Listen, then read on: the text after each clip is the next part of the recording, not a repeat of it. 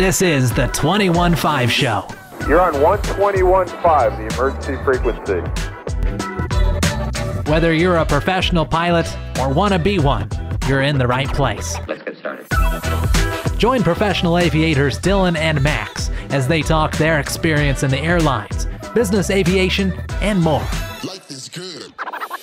Industry experts, unique stories, and plenty of fun. This is the 21.5 Show. It is another episode of the 215 Show, the show for professional pilots by professional pilots. Hello, everyone out there. It's me, Dylan, joining you from the Spring Hill Suites. if you could only see the incredible artwork behind me. These It's walls- your turn to be in the hotel and mine That's to be right. at home. I like yeah, it. the tables have turned.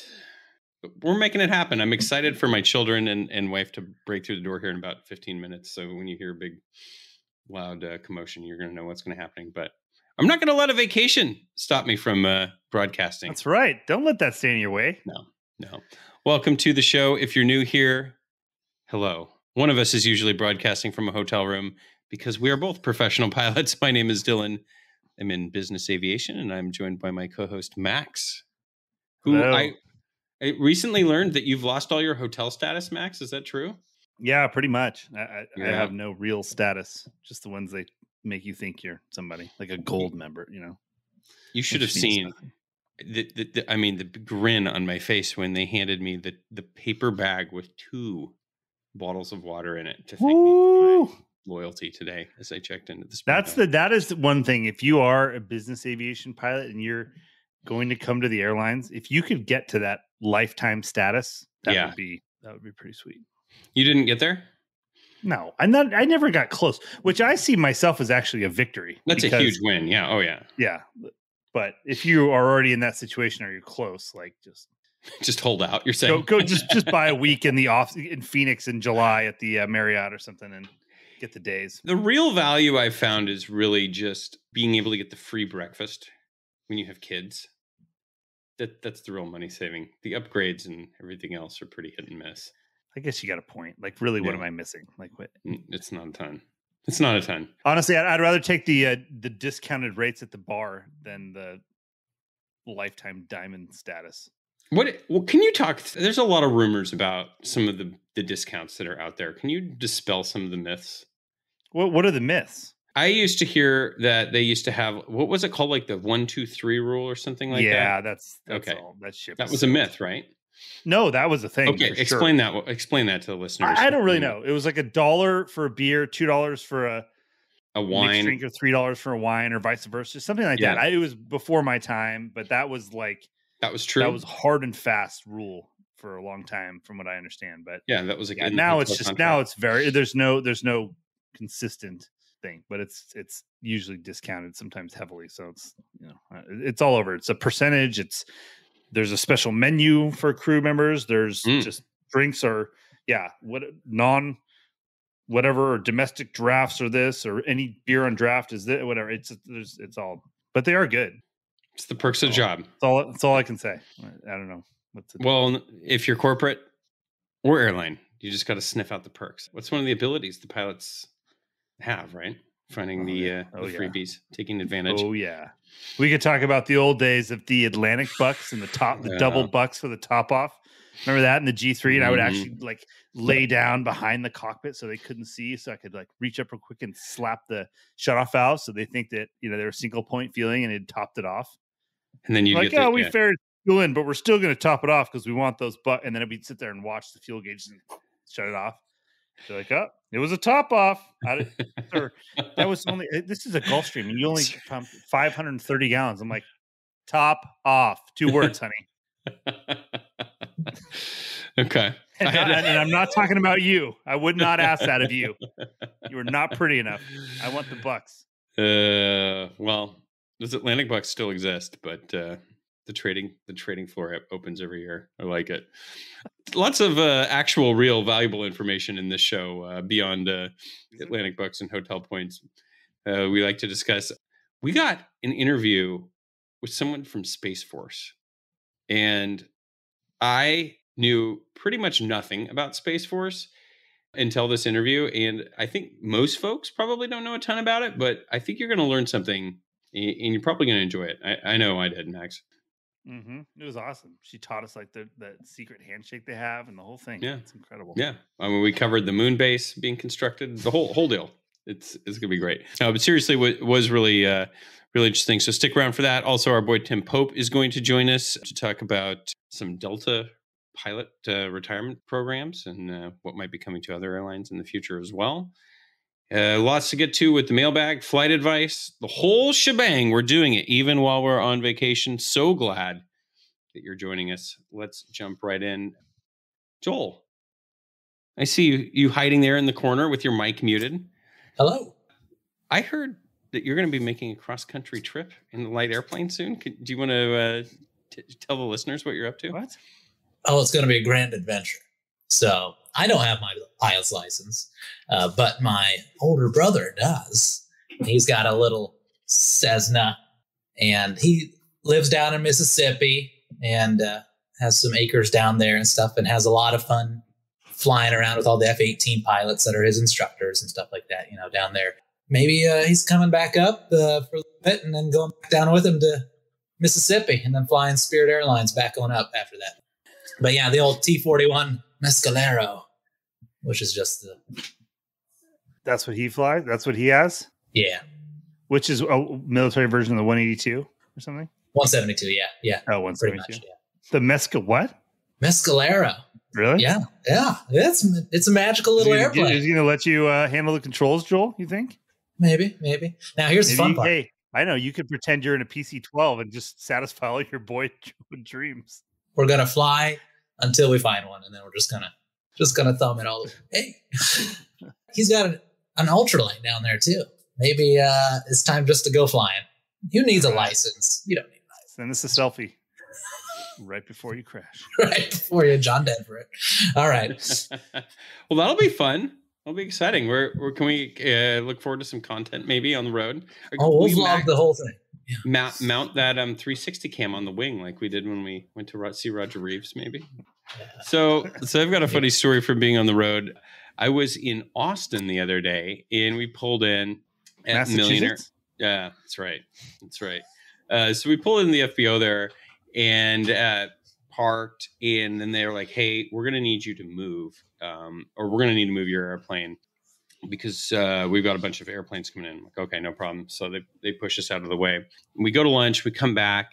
I'm looking at the ramp, and I'm like, "Wow, there's a lot of PC-12s on the ramp. There's like four of them." Another one taxis in. Another Yes. one taxis in. I'm Yes. like, what in the world is going on here? After about the 15th PC12 rolls in, I get outside. I'm like, I got to get a video of this for Joel. So I like video all of these. And then as I'm like doing this video, another one taxis by. So I finally get up on my phone. It was the Pilatus owner National Pilatus Convention going on at the Million Air in Austin. So I, I don't know how many ended up being there, but uh, Joel, next year we're gonna have to send you there for live coverage. I think uh, I don't know where it's going to be located.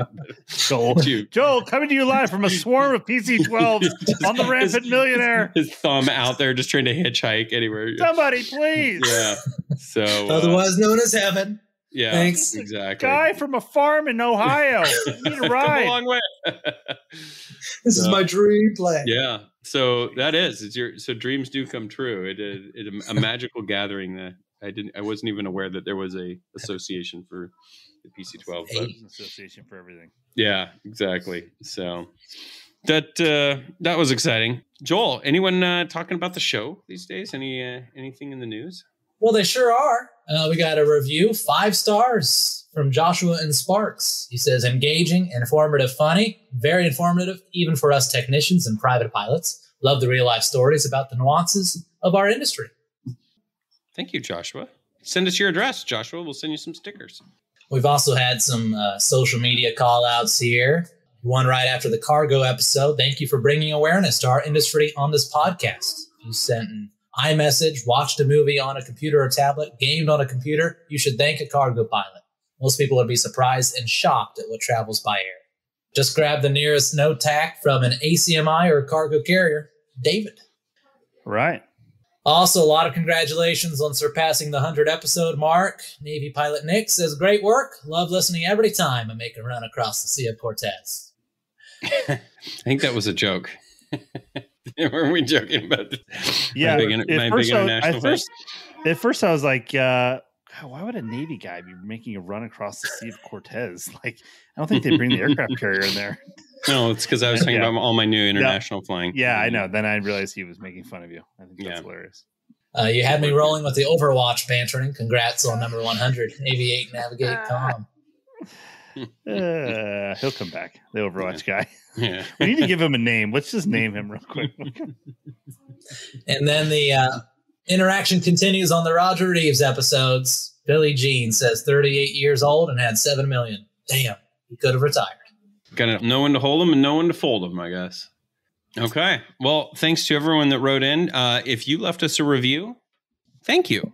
I'd love to say thank you by sending you some stickers. Just shoot us an email info at 215podcast.com and uh, give us your mailing address and we'll shoot those into the mail. And if you'd like to leave us a review on Spotify or Apple Podcasts, we'd certainly appreciate it. It, it gives Joel something to do to, you know, aggregate all of these. Uh, You know what I just realized is actually pretty funny. So we're we're trying to put together. We have some really good merch ideas, and we're trying to you know working on getting who's going to print them and all this. And and the big thing was like, well, who's going to ship this out? We don't want to inventory this and ship it, and maybe we'll have some company drop ship it.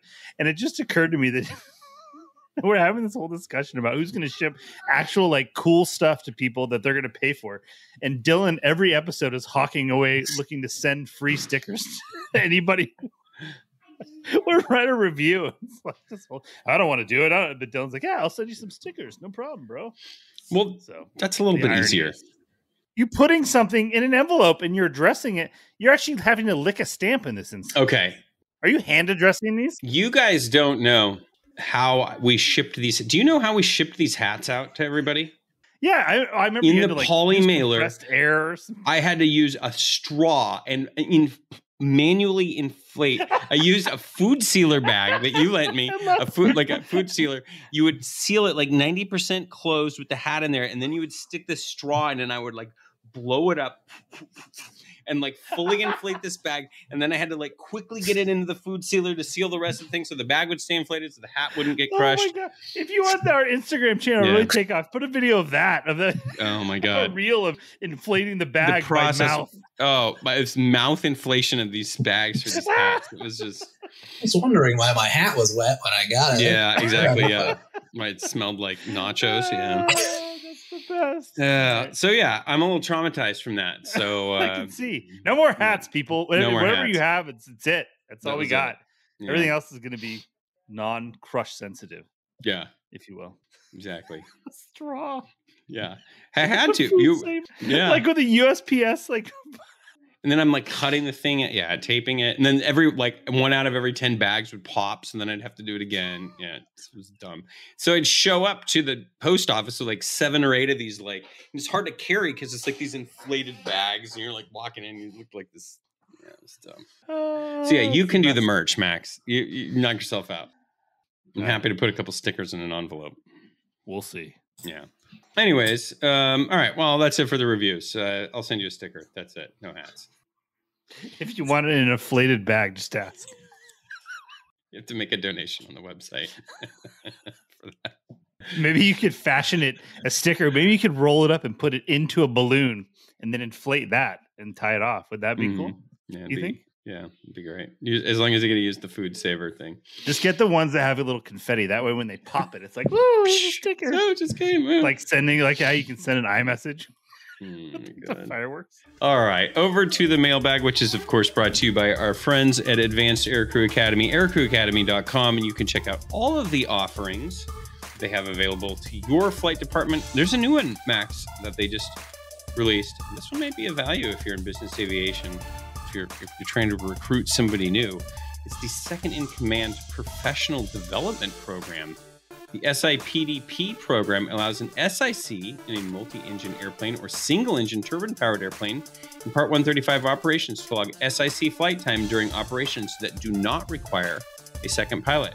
Part 135 operators receive the authorization for an SIC PDP through uh, OpSpecs A062 which requires additional training for the PIC that flies with these SICs. The one hour training module meets the PIC mentor training that is specified in the regs. The training module is customized for operator specific procedures. You can check out more about that. We'll have a link in the show notes. Just another reason why Advanced Aircrew Academy is really That is awesome, dude. Yeah. That's a solution to one of the age old can I log it questions. It's genius. So hats off to Advanced Aircrew Academy for uh, making that process a little bit easier. We'll have a link in the show notes. The mailbag, I would say, uh, it's a quality versus quantity. Joel, is that accurate today? Yeah, that's about that's about right. Okay. What do we got? Gentlemen, I just finished listening to episode 101, and I have to say, I'm quite disappointed in Chris and Jeremy. They made horrible arguments against single pilot and zero pilot operations. I thought the episode was going to end with a hashtag cargo pilot lives matter. Please allow me to extrapolate. Chris and Jeremy made arguments against the advent of new technology in the cockpit because it will take our jobs. That's the same argument that 200 French tailors made in 1831 when they destroyed a sewing machine factory because they said it would take their jobs. Chris and Jeremy made the argument that a computer could not have done what Sully did. I would argue, and I think Sully would too, that a computer would have done Sully's job better by immediately returning to LGA. Sully openly admits that the human factor involves a delay reaction time. The delayed reaction time of a microprocessor is milliseconds, much less than that of the human brain. And they made the argument that humans have the will to live. That's great, but that's why you get so many stall spin accidents at the departure end of the runway. Because the pilot sees the trees coming up quickly and pulls up immediately to avoid hitting them. A computer can be programmed to pitch for best glide and hold it regardless of what's in front of it. I agree that we'll likely be replaced by computers soon. I've accepted it, but this idea that we should pay pilots to do what a computer could do safer and more efficiently is very short sighted. I mentioned that to a pilot who was high up in the Teamsters Union about six years ago. I told him if we keep creating these barriers to entry in attempt to drive up our salaries, we're going to be replaced by computers. He responded, Yeah, but I'll be retired by then. I still love the show. I've played every episode. Can't wait for the next one to come out. Rob. Well, that was a downer, Rob. Interesting perspective. I, and I think Rob has some interesting points about uh, what a computer would do. I, I think, and I don't disagree with a lot of them, like as you know, say avoiding a stall spin, maybe going right to best glide speed. I think the problem that's that's hard to quantify now is yes, it might eliminate some or, or many or maybe even all of the human errors that are made, but what would the computer errors be that that a, a human would be able to intervene and, and catch? That is unknown. Now, the good news is you can run simulations on a lot of this stuff and, and try and perfect the, essentially the AI, right? That would be would be flying this airplane. I think that really probably as usual, it's going to be a marriage of both, right? It's going to be using the intelligence of the computer and the quick reaction times along with the the human pilot being able to kind of think in a way that a computer can't. I don't know. Does that make sense?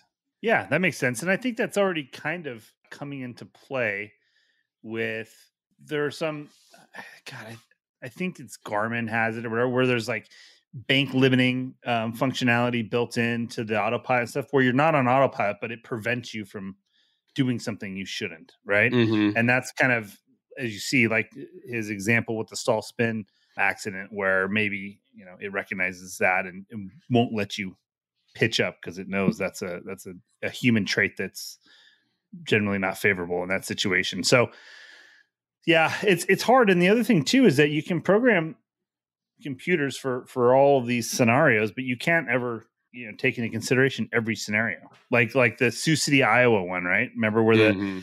engine exploded, took out all the hydraulic system, they landed the thing using differential thrust and like all of that. Like that, I don't know if that's a that something that could be taken into account for the minuscule uh, chance that something like that could happen again. But I don't know. It, it will be interesting to see the evolution of it. But uh, there's there's a lot of things that the that the autopilot does better than we do. The autopilot holds altitude better than any of us can for Sure. three hours. Like that's Yeah. that's never changed, and that's kind of the beginning of it, and it's just an evolution of that. So I think we have to realize our limitations, and that we are certainly not better than than computers at, at a lot. But uh, we still have our place for now. Yeah, I, I was also thinking too. You know, the other thing is, do you see it, Max? Do you think it's like a new tech, new air airframe that's developed, where they're going? It's it's like an oh, it's the 797, you know, single pilot certified or whatever. Obviously, making that up, but and then it's just like new aircraft that are being built, or do you think there will be like a more of a development to retrofit existing airplanes? I think maybe initially it might be a new airplane that's like you said, Mm-hmm. quickly followed by retrofit of existing airframes. I mean, I think there's been that thing, you know, Boeing has already developed a standalone thing you can put into uh, one of their products that will fly it Yeah, autonomously. saw that. Like yeah, it's not a new autopilot system; it's a thing that you replace the with the seat, yeah, and it it it does it. So I I, I think it's what I think once there's acceptance, that the big hurdle is going to be acceptance, right, by the public. And once acceptance is gained, then it's the floodgates open. I think. Yeah. So That's what I've because I've always wondered. Like in this particular situation, are you going to be quote unquote safer uh, from a job perspective in business aviation versus the airlines, where you have a lot of like single operators, and it's not like huge fleets. yeah, I don't know the answer to that question. You know, I'm not I sure, but you know what I would like to to understand is from somebody just to say period, just like in the easiest way to ask the question, is it easier to develop automated self-driving cars or airplanes? Because we seem to be having a hell of a time getting that worked out with autonomy. I mean, I just we we have laws here in Arizona that are that are uh, that are good for the the testing and development of these automated uh, you know self-driving cars. So we see them here i think more than most. And i saw one today Yeah. my, one of my kids like what is that? And it's got like you know things spinning oh yeah, like the lidar corner yeah. of the Mhm. car and all. And i'm like it just doesn't seem like it's really right around the corner. I mean my car will stay in the lane and you know has radar cruise control. Like uh, that that's even that's not perfect. Like i don't trust it to stay unless it's like straight ahead highway.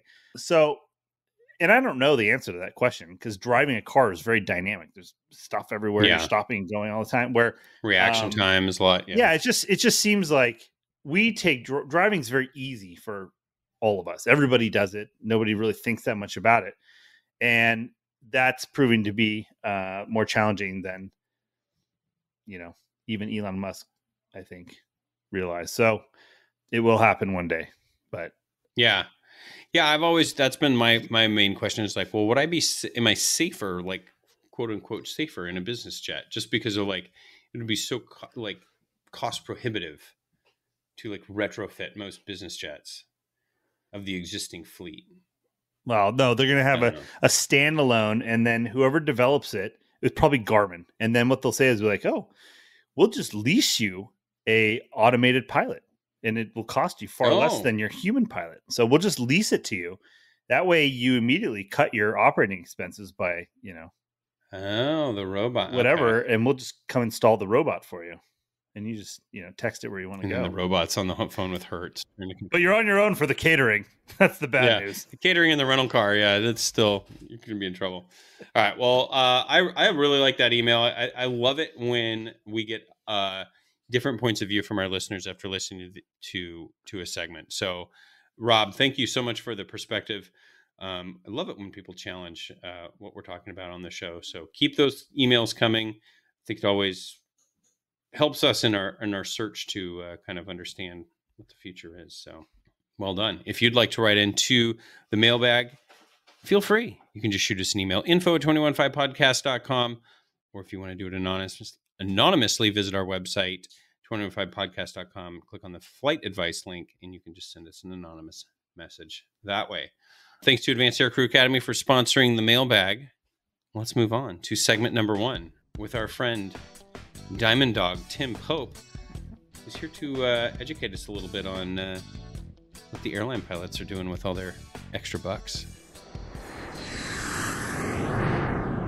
Okay, Max. The saying I think is "more money, more problems."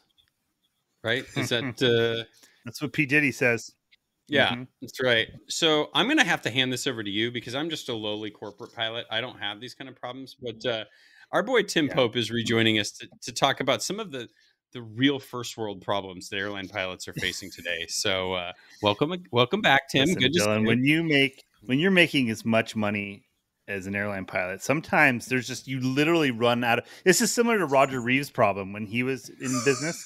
Is he literally ran out of physical space to put this much money? You know, and Mhm. as an airline pilot, it's more of it's not necessarily physical, more of a a bucket situation of you know your buckets just keep overflowing and it's you you, you need more buckets to catch it all you know so tim's going to tell us how the uh, the smart people of the world are figuring that out for us Hi, Tim. Welcome back.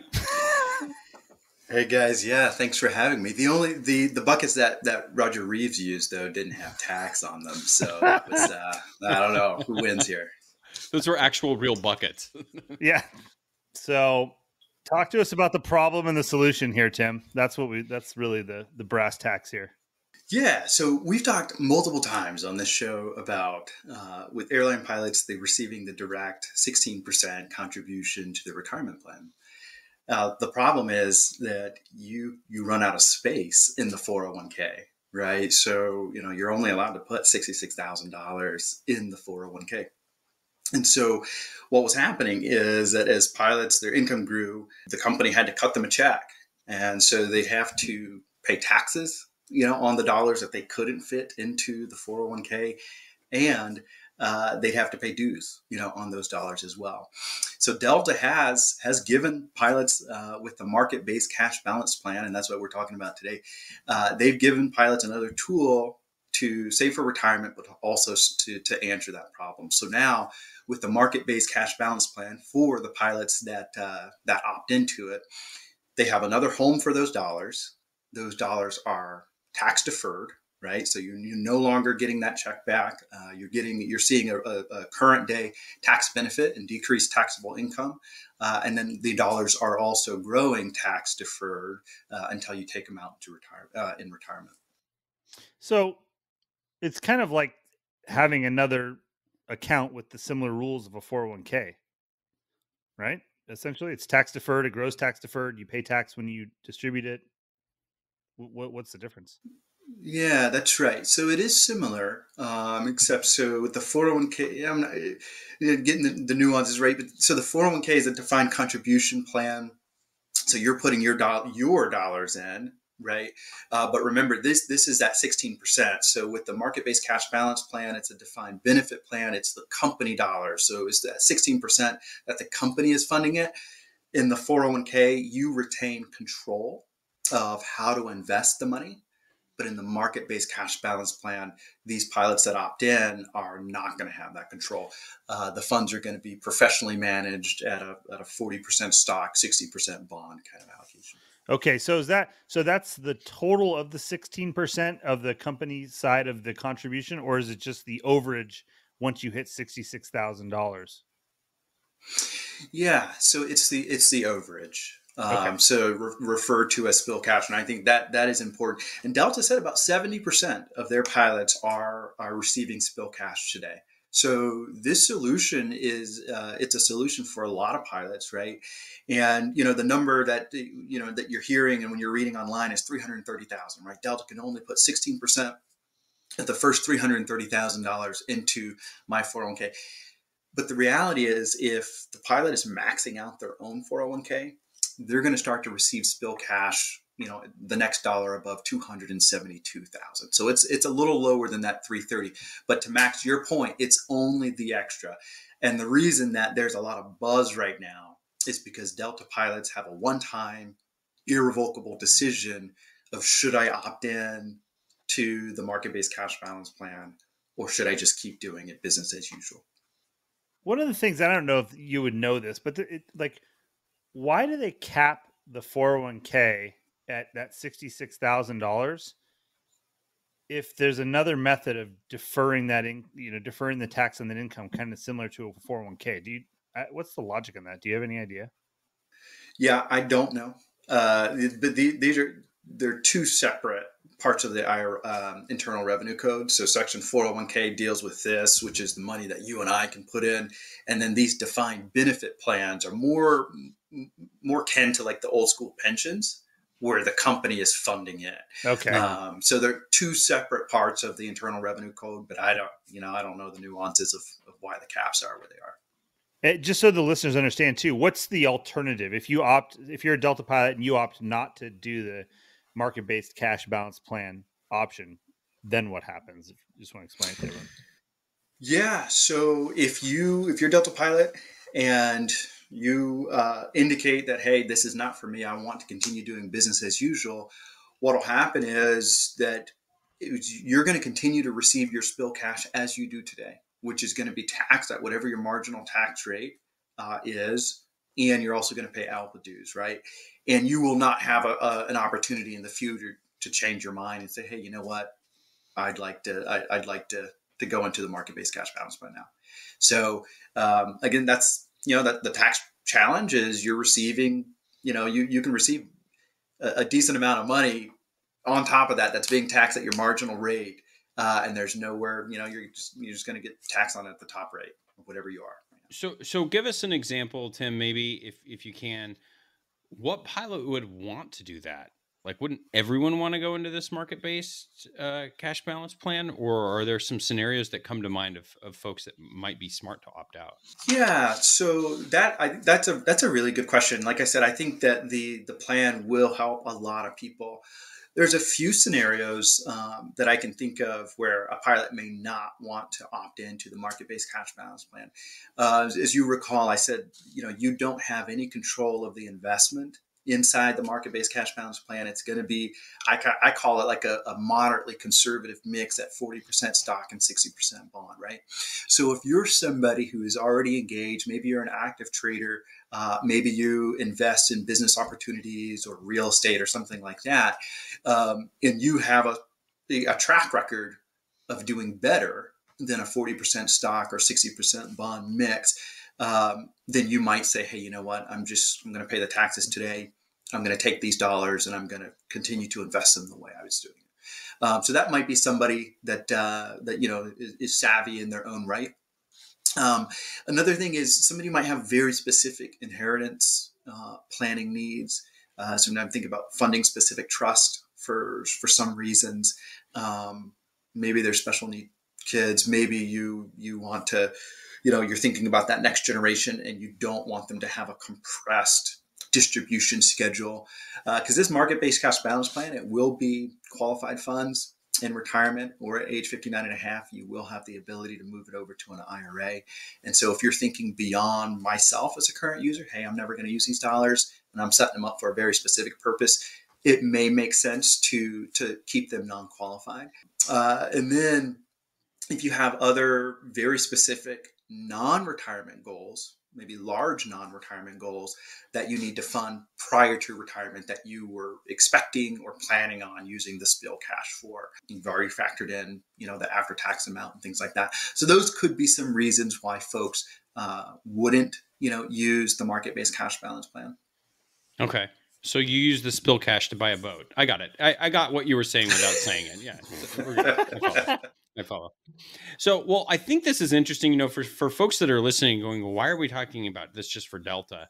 You know, what are we seeing in in the marketplace right now? All the other carriers are saying we want the Delta contract plus a dollar, or you know, or plus Delta plus. You know, and so it's probably not out of the realm of possibility that Delta is going to be the only carrier with an option like this, right? Like we could see this at maybe all of the major carriers soon. Oh, for sure um, I, you know, all eyes on Delta, right? We're starting to get a lot of movement right now. We're, we're seeing movement with the American contract. We're seeing movement with FedEx. Um, you know, United and, and Southwest still, still to be uh, de- determined there. But it is very reasonable that at the majors that this model could be used um, across the board. I mean, uh, you know, at the majors, everybody's getting you know the non-elective contribution, sixteen percent and higher, right? or yeah. higher in the future. Right. Is this about the only way that it can get done? Like with the spill cash, is this a, this the the, the typical vehicle that would be used for this? You know, on that, I'm not sure either. There's there's a whole lot of uh, analysts and, and, attorneys and things that study right. the defined you know uh, laws and things to figure out you know, how how to craft these plans. So I'm not sure about what are what other alternatives there would be to defer compensation yeah. until retirement uh, and then pull it out in that way. I do know that there's some plans that can be um, pretty pretty complex that are used in other other industries, uh, but I'm, I'm not the expert there on plan design.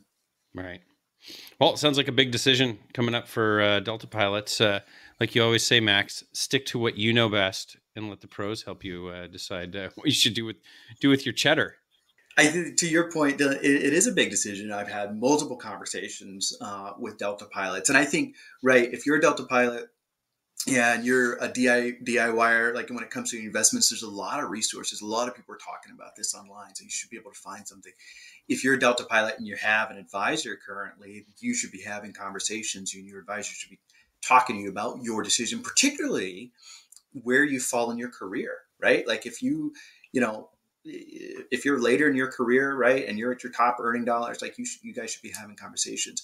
Uh, and then, of course, for, for Delta pilots that are looking to partner with somebody to talk about this plus the rest of their, their financial planning uh, needs, we're certainly open and and and, um, and ready to have that conversation. But the other thing I would say is that there's a tax challenge on both sides of the coin, whether the pilot opts in or out. Uh, I've I've come on the show and I've beat the drum about a ticking time bomb when it comes to taxes, right? And the thing with the market-based cash balance plan is I do think it has the potential for that, right? You get that huge tax deduction today, but those funds are just going to grow, right? You can't opt out. Uh, there are some levers that you can pull to control somewhat how much money that goes in, primarily by your own 401k contributions and things like that. But you know, a 20 or 30 or 40 year career could create this ticking tax time bomb. And so I think that uh, the challenge there is just is is figuring out ways to manage that. But then on the flip side, the same challenge is the, the, taxes as well, figuring out how to how to manage that tax liability when you get that cash in hand. So those are um, you know you, you are going to have the same tax challenge regardless of where you go ticking tax time. That's why I'm staying in business aviation. I'm just avoiding time That's bombs. Right, you don't need to worry about these massive 401k problems the yeah. rest of us have. Yeah, That's true. No, That's good. Nope. I'm just gonna just gonna keep buying. Uh, you know. Uh, Bitcoin. And, uh, just... That's good. Like, like, we said, focus on what you know, Dylan, and uh, yeah. leave the rest to us. Okay. Exactly. Exactly. Well, Tim, we always appreciate your expertise, and I know folks, uh, especially Delta pilots, right now that need some guidance um, you'll be able to find a link to Tim's calendar in the show notes. You can get on the schedule. And uh, Tim, uh, before we let you go, I, the rumor is uh, you just passed your instrument written. Is that true? I did. Okay. I did pass the instrument written. That's right. Now I am uh, finding very expensive barbecue you know, a couple hours away to go and, and partake and then come back home working on that cross country PIC time. I, so. no, okay. I, I, my question to you, are you a hood guy or a Foggles guy? So Foggles is what I've, what I've got access okay. to. Yeah. Ah, yeah. Okay. It's classy. I like that. The Foggles, the hood is just so old and outdated at this point. Yeah. yeah. Like, oh my word. So, so we were, like, we were just Friday we were flying and my safety pilot, like I'm under the hood and I'm, I'm like being a good, you know, student kind of thing. And I'm not looking outside. I'm not even taking peeks. And, uh, and he's like, we were tracking weather like before we took off to make it back. He's like, Oh, Oh, that looks pretty dark over there. Like, oh, I don't know. I wonder how far they're away. Like, I don't, I don't have a Stratus or anything to connect to the iPad. And then like you feel the, the cockpit get cold because we we're we're going under clouds and stuff. I'm getting nervous. I'm like, dude, like just call up ATC and ask what's going on. and he's like, so so finally, I'm like, dude, just like, and we hear like ATC diverting other people for weather and like and all that stuff, and I'm just you know holding my head, and uh, and so he's about to call, and then he they tell us like, hey, you know, like one six miles, 20 miles in diameter, like the moderate push that. So then we divert around. I'm like, bro, like, come on, like, let's let's ask them. and note to self, I can rip the foggles off Yeah. next time, like just to make sure he's I not. love that's what I love, dude. He didn't even peek. He's like, nope, not gonna Nope, do not it. cheating. I'm doing it. We are gonna fly through this thunderstorm if we have Yeah. to. I'm not gonna. I thought you were going to say the safety pilot said, "Tim, you can remove your foggles because we're actually in the clouds now." well, well, so uh, like in May, that that did happen. Uh, well, it wasn't clouds, but it was it was smoke. It was just really bad smoke, and she's like, "Hey, take the glasses off. Let's see what we're dealing with right now." That's how Tim fi- fi- finds that barbecue he's talking about. He just follows the smoke. Oh, I smell the brisket. Come left. I logged a heading point 070. three and got some great tank- pulled pork. Just send until you smell the pulled pork. And we're, I love it. that's how they do cross country flying in the South, dude. It's, it's great. From smokehouse to smokehouse. I love it. Well, we'll keep us posted on your training, Tim. Um, we're excited for you. Do you think would you project you'll be done with your instrument by the end of the year?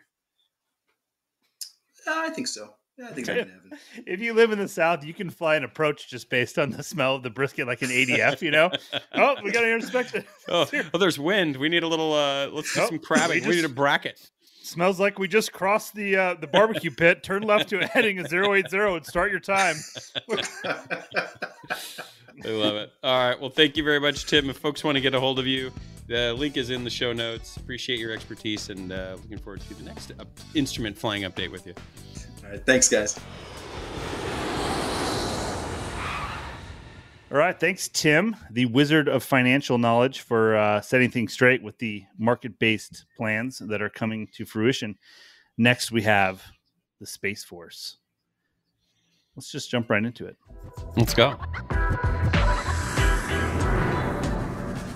Max, we're so excited today. Uh, Major Kacie Lawler of the U.S. Space Force is joining us to teach us about Space Force. But more importantly, I think, an even more important credential, she's an Embry Riddle Prescott alum. Yeah, go Eagles. Go Eagles. Welcome to the show, Kacie. Thank you. Thank you. Happy to be here. So Kacie, we have so many questions for you because I think like like many uh, folks, we don't know what much about Space Force, and um, so we're excited to learn a little bit about it and maybe see if there's any tie-ins to aviation. Um, it it kind of seems like there's some uh, natural tie-ins, but uh, just curious to learn a lot from you today. So if you could just start, tell us a little bit about yourself, um, how you got started, and how you've ended up in Space Force. Sure. I, like you said, I am a Embry Riddle alum. Um, I originally started in fall of 2007 as an aeronautical science major. Um, that was around the first pilot sh- uh, hiring shortage. So I spent the first half of my first semester with no flight instructor doing uh, ground school and kind of trying to figure out what it was I was trying to do. Then once I finally got my instructor, everything that I was learning in ground school was round dials, and we had just upgraded to glass cockpit. So I was super confused.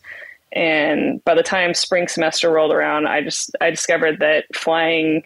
I while I enjoy general aviation, I enjoy flying as a career. It wasn't something I wanted to do. So I changed to aeronautics my second year and basically built the rest of my degree out of aviation safety classes. Um, and then I, I took a minor in Chinese, which serves uh, into how I ended up in Intel. Because when I went to fill out my dream sheet um, for what I wanted to commission into in the Air Force, because I was also in the Air Force ROTC program, there was no aviation safety option.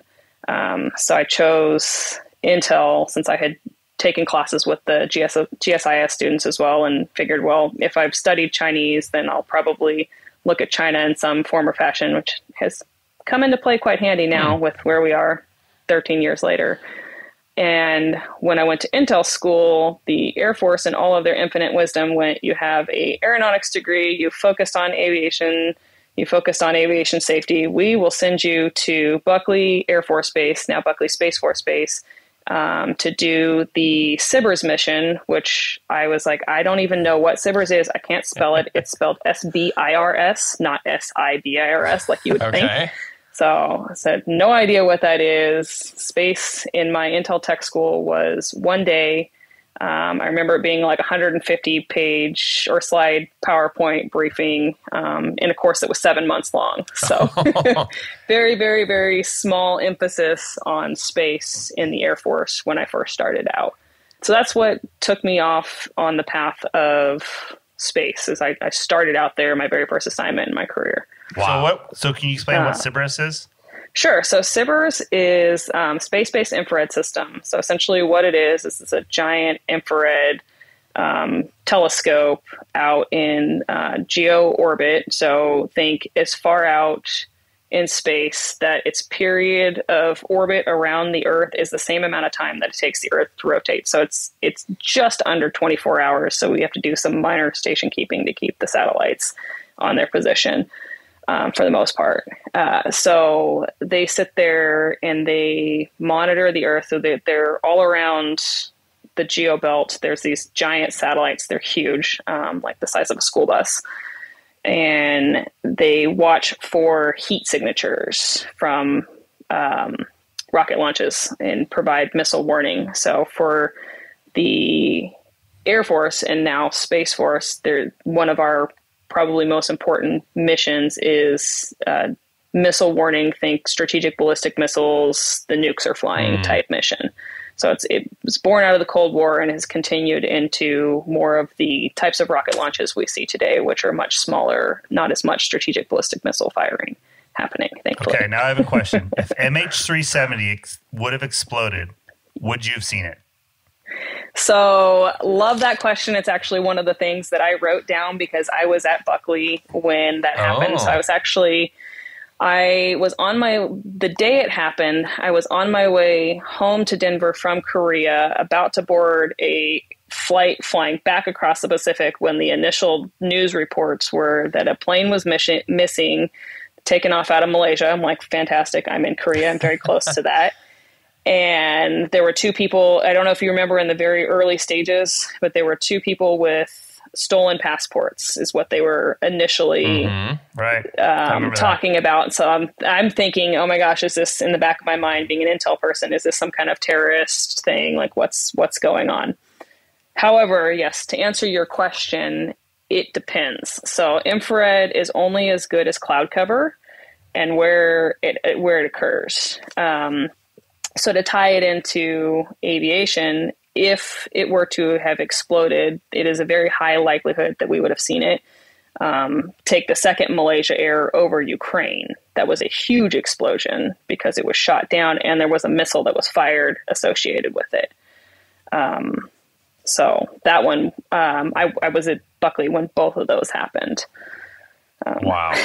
so That's right. very near and dear to my heart in aviation and kind of anytime there's any like we might have shot down a commercial airliner which unfortunately has happened more than once in the last decade uh, my mind immediately goes back to buckley and like what were the conditions would would we have been able to see it is the missile big enough for the because the systems are are built for strategic missiles so much bigger um, and it depends on the amount of time it burns and where it is over like if there's cloud cover if that cloud is high enough then you may or may not actually see the the missile in its burn stage or be able to type it to the right type of missile.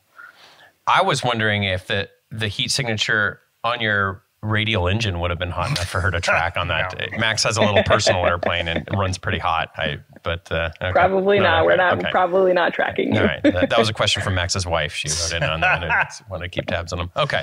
Interesting. Okay. So I imagine, you know, the Air Force was not originally the Air Force, right? It was a it was a part of the Army, and then they said, you know what, we're using more and more of the Air Force. We should give them their own branch. Is this kind of how Space Force worked too? The Air Force was doing a lot of this work, and then they said, eh, we should make our own thing.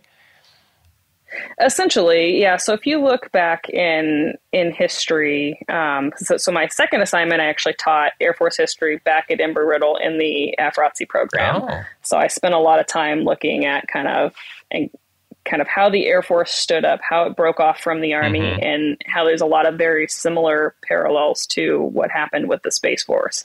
And it comes down to at the time that aviation was dawning, um, think between World War One and World War Two, if you look at our initial requisitions for what we thought an aircraft could do, at first we're thinking, oh, okay, an aircraft is an extension of a dirigible or a balloon and it's straight ISR. We're just going to go and we're going to see what's going on and then report back. And then somebody has the bright idea of, well, if I'm over enemy territory, I can bomb Hmm. them. And then, so now we're flying past each other, waving, giving the good old pilot salute as we're going to bomb each other's territory until somebody has the bright idea of, what if I shoot at that guy so he doesn't bomb my stuff? so it's a very slow Mhm. evolution of army thinking, which is ground, ground, ground, ground, ground. How do I protect the ground? To what can air power actually provide, and what does leveraging air power provide to a military? And when, when you have control of the sky, you have control of pretty much everything. Same thing with space. Um, space to the point where, like, for career development within the Air Force, we had what was called 13 Sierras, the specialty code, which were space operators. And there was only so far a 13 Sierra could progress on up. Like, if basically in the Air Force, if you are not a pilot or, you know, a pilot of some sort, you're never going to be the chief of staff of the Air Force. Like, you're just, you're not. Doesn't matter what you did in the Air Force, you're never going to be the chief of staff. At least historically, we've never had somebody who wasn't a pilot Mhm. because it's the Air Force. So a 13S never going to be chief of staff. 14N never going to be the chief of staff. I mean, Intel 14N. Um, so the other issue that we had with similar to the Air Force is the way that the Army was looking at aircraft when we first broke or before we first before we broke off is we thought, okay, I need to get this airplane from point A to point B. So our initial requisitions were for aircraft that we could take the wings off of, put them on a truck or a train, and transport them instead of building aircraft that had the legs to fly from point A to point B. Um, again, with space, our first kind of wars and conflicts where space is really starting to come into play have been in about the 2020 the, the, the 2000s Mhm. So think like early desert storm and then iraq and afghanistan obviously hugely starting to leverage gps guided bombs and um, you know s- space enabled movements on the ground um, and ISR really starting to come into play. But we're still looking at it from how does the satellite service the aircraft or the people on the ground, um, and not really like what does space provide to the entire joint force. So that's where you start to get your tipping point of holy cow. Space is not just providing effects to the Air Force. Space is providing effects to all of the services, and we really need to have a seat at the table for advocating for um, upgrading our technologies and our capabilities so that we can provide that support in the event of um, some kind of conflict. So, like conflicts nowadays, I mean, you look at um, when Ukraine first kicked off, like we saw huge, huge um, changes in like what's the first thing that Russia did? They they started trying to jam communications so that the Ukrainians couldn't communicate. So then SpaceX provides the Starlink terminals to provide communication capabilities to the Ukrainians. Um, that's what space provides to the joint warfight. Like we provide more than just satellites taking pictures. We provide stuff to all of the services, and all of the Joint Chiefs are starting to have that realization um, that space is incredibly important and needs to have that seat in order to advocate for itself and to advocate for the entire joint force. Wow. It's really long No, I mean, it's, it's really, I mean, because it is, it's like this can of worms. Like you say, you open it and then you're like, oh, wow, but what, we need this Mhm. too. I mean, just when you mentioned GPS, as professional pilots, we are so reliant on GPS. Yep. And our infra- national infrastructure, uh, airlines. I mean, if there's GPS outages, the airlines would grind to a halt almost. Mhm. So, can you Mhm. talk a little bit about GPS and specifically, uh, like, G- uh, is part of the mission to defend those satellites? Is that even possible? How Well, does that? that work? was my question. yeah, Yeah. like the vulnerabilities. Well, so GPS is really interesting too because GPS was initially created to be a solely military um, capability. It wasn't. It wasn't initially created to serve the first American people and then the global population. It was a solely military capability of providing blue forces Right. tracking. at a more high fidelity level. Um, and now it has become the Air Force and then now the Space Force providing this capability, which enables everybody to do basically Mhm, everything. like GPS is such a huge part of our life that if if my GPS doesn't work, I can't even get around the NCR, and I've lived here for six years. like I'm in trouble. I go back to the days of printing MapQuest maps and trying to get somewhere. Um, so yeah, like that's that's probably the first thing that we think of when we think of space. We think of GPS, and then you have to think of okay, what else do I use that leverages space? And it's it's pretty much everything nowadays has some kind of technology capability, like down to your car. Certain cars, if you don't have communications with a satellite, it might not even Mhm. go. Like you fly, fry the electronics on that car and it's not going to start. Um, so like your your communications, like your ACARS messages that come across, you know, those use VHF and um, I think VHF and EHF frequencies. So they're either going line of sight or they're going to a satellite to your aircraft. Uh, the second, you know, back to the Malaysia Air, the fact that in was that was that one in 2014? I think so. Yeah, I just watched the Netflix. in on that too. 2014, we could lose a triple seven Yeah. over the Pacific. Just blows my mind, and it's because satellite coverage. We don't have the same amount of satellite coverage over the South Right. Pacific that we do over densely populated areas. Like that's everything that you do relies on something seeing Mhm. you or some way to check in. If it's if you're over vast expanses, you better hope there's a satellite or something for your aircraft to check in with. Um, otherwise, we may not know where you are. Yeah, It's, I was trying to explain this to my kids who are both huge Top Gun Maverick fans, and they you know they watch the Dark Star airplane. Like, this thing's so cool, and I'm like, I don't even know if that kind of thing is necessary anymore, um, due to a lot of what we're talking about with with satellites and and but at the same time that's a new vul- attack surface right? It's a new vulnerability. And so uh, beyond m- monitoring just ballistic missiles you guys i imagine are also having to try and figure out how do we protect these assets in space right?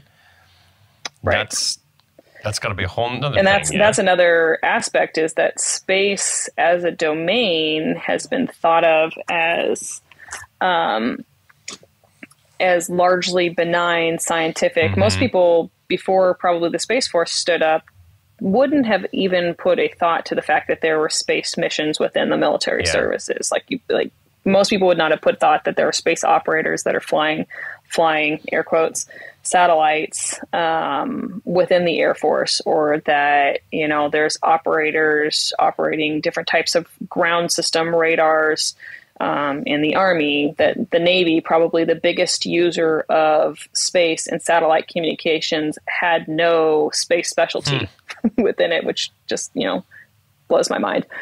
Um, you know, space and cyber are very, very intricate, intricate, intricate. ah, I can't say that word.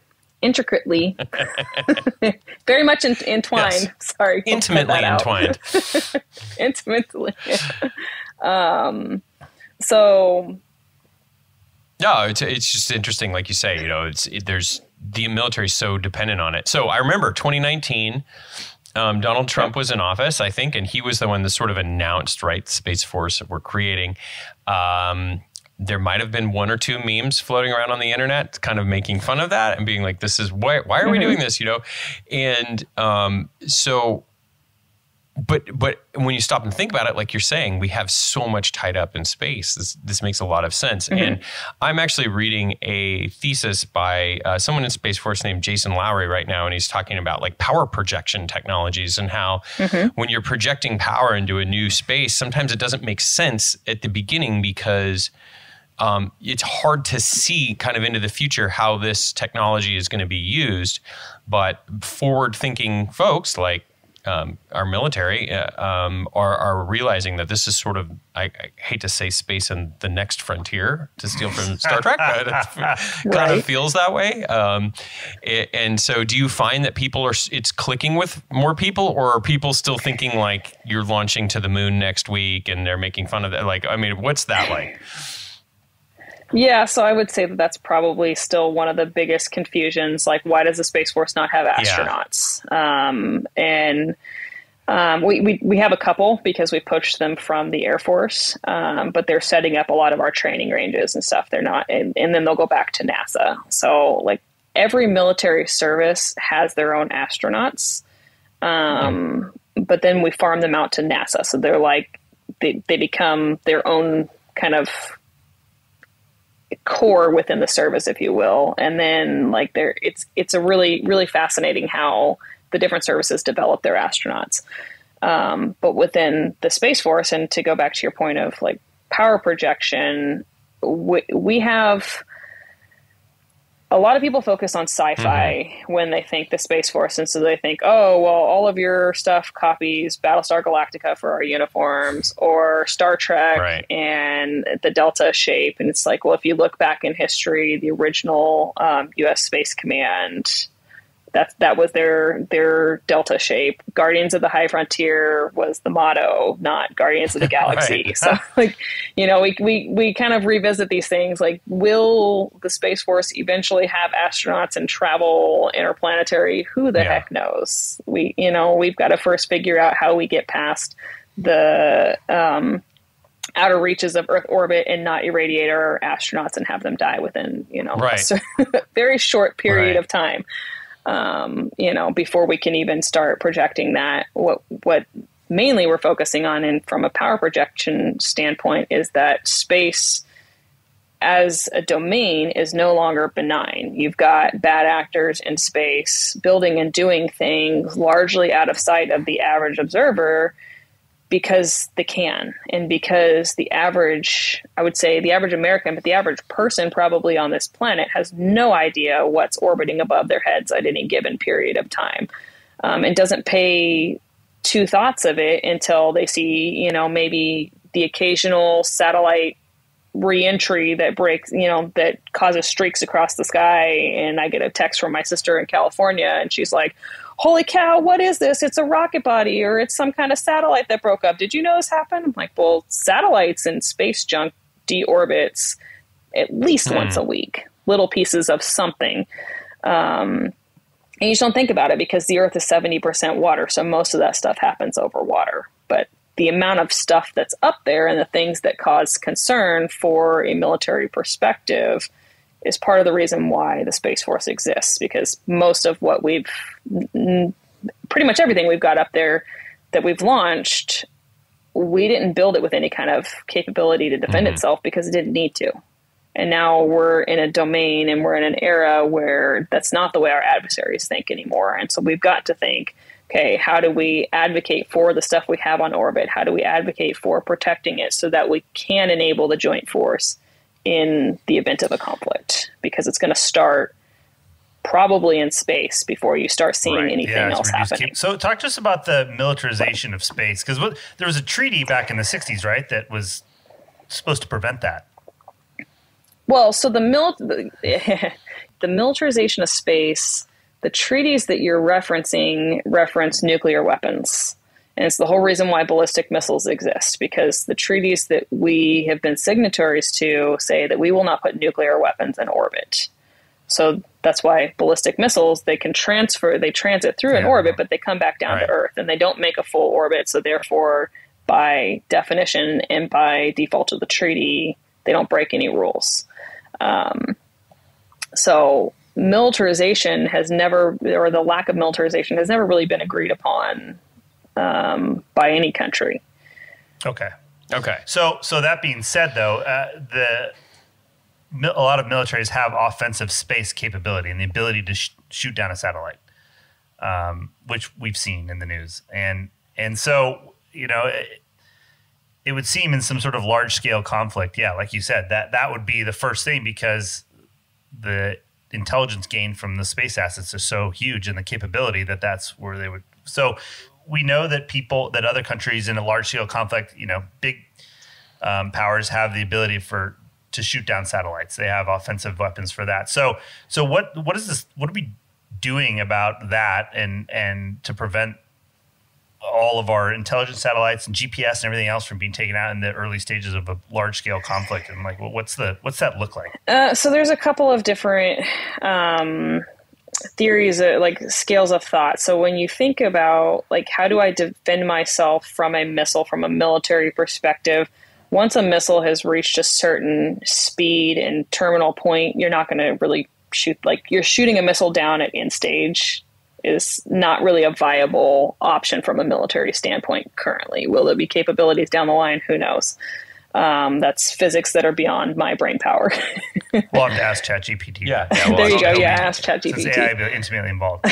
um, so then you're you start to consider, okay, well, how do I defend myself? And there's a lot of different schools of thought. One of the the current schools of thought is just by um, large, like large. Um, densely populated constellations of something. So Starlink yeah. is proving Starlink, this yeah. excellently yeah. with how many satellites they're launching.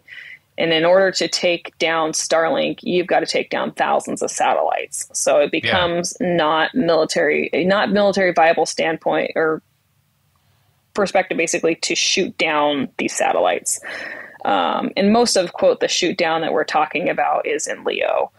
Um, so then you have the other issue of as you start to shoot at satellites within LEO, the interesting low Earth orbit. Right? Yeah, sorry, I'm sorry. Yes, yeah. the low Earth orbit, which is where the majority of like those communication type satellites and the internet satellites and, and, and stuff that I was referencing live. Um, just because you shoot down a satellite doesn't mean that that satellite goes away that now becomes hundreds to thousands of little pieces and particles mm. that as it spins around the earth populates and fills up that orbit and then you become you you start to have to worry about a debris um, debris causing issues to other satellites right. so something as small as a paint fleck i don't know if you remember the paint fleck that hit the the um, space shuttle window the damage that that caused so something as small as a paint paint fleck can cause that kind of damage to a space shuttle window. Then anything larger, a piece of a broken up satellite, is going to take out other satellites as it continues to orbit around. Um, so it becomes there's the potential theory that it'll snowball and make the entire orbit non-viable mm. because then it could take decades to hundreds of years for all of that stuff to slowly start coming back in into Earth's orbit. So the difference in space versus the air and the navy is if I shoot down an aircraft, that aircraft falls out of the sky and it no longer becomes a problem for me have to have to think about how do I navigate around the debris that was that mm-hmm. aircraft. I can continue to fly in that same domain. If I sink shoot down shoot a ship or with a torpedo or something, it's going to sink and now that sea lane is back open if I shoot down a satellite, that debris could be there potentially for the rest of like if you shoot a satellite in geo, it's reasonably not really ever coming back because wow. you're talking like 30, 40,000 kilometers out. Wow. It's that, I mean, and this is another point of like, there's so much that we don't grasp. Mm-hmm with space that it's just so hard for the ordinary person to even I, I imagine just That's the little rocker of, space is hard. exactly. Yeah. Yeah. Did. Right. Exactly. Did Elon Musk say that? That sounds like that sounds like something he would say. It was um, okay. so give us the top five most annoying questions you get asked or repetitive questions that people ask you about space and space force so that we know not to ask these if we meet we probably already asked three. Yeah, we've already asked three. uh, I, I don't think that there's like any like top five most annoying. It's like, yeah. are you an astronaut? Have you gone right. to space? When are you going to space? Mm-hmm. Kind of all that. Yeah. That lack of thinking. Why does the space right. force exist? Um, to which I kind of say, well, do you have a cell phone? Yeah. do you like right, to use exactly. your cell phone? How did you navigate to where you're at? Um, Yeah, no, it's it's more so just I think the biggest issues for for me is the lack of understanding between US Space Command and US Space Force because both of them stood up so close to each other. So hmm. the US Space Command is the combatant command which is in Colorado Springs currently.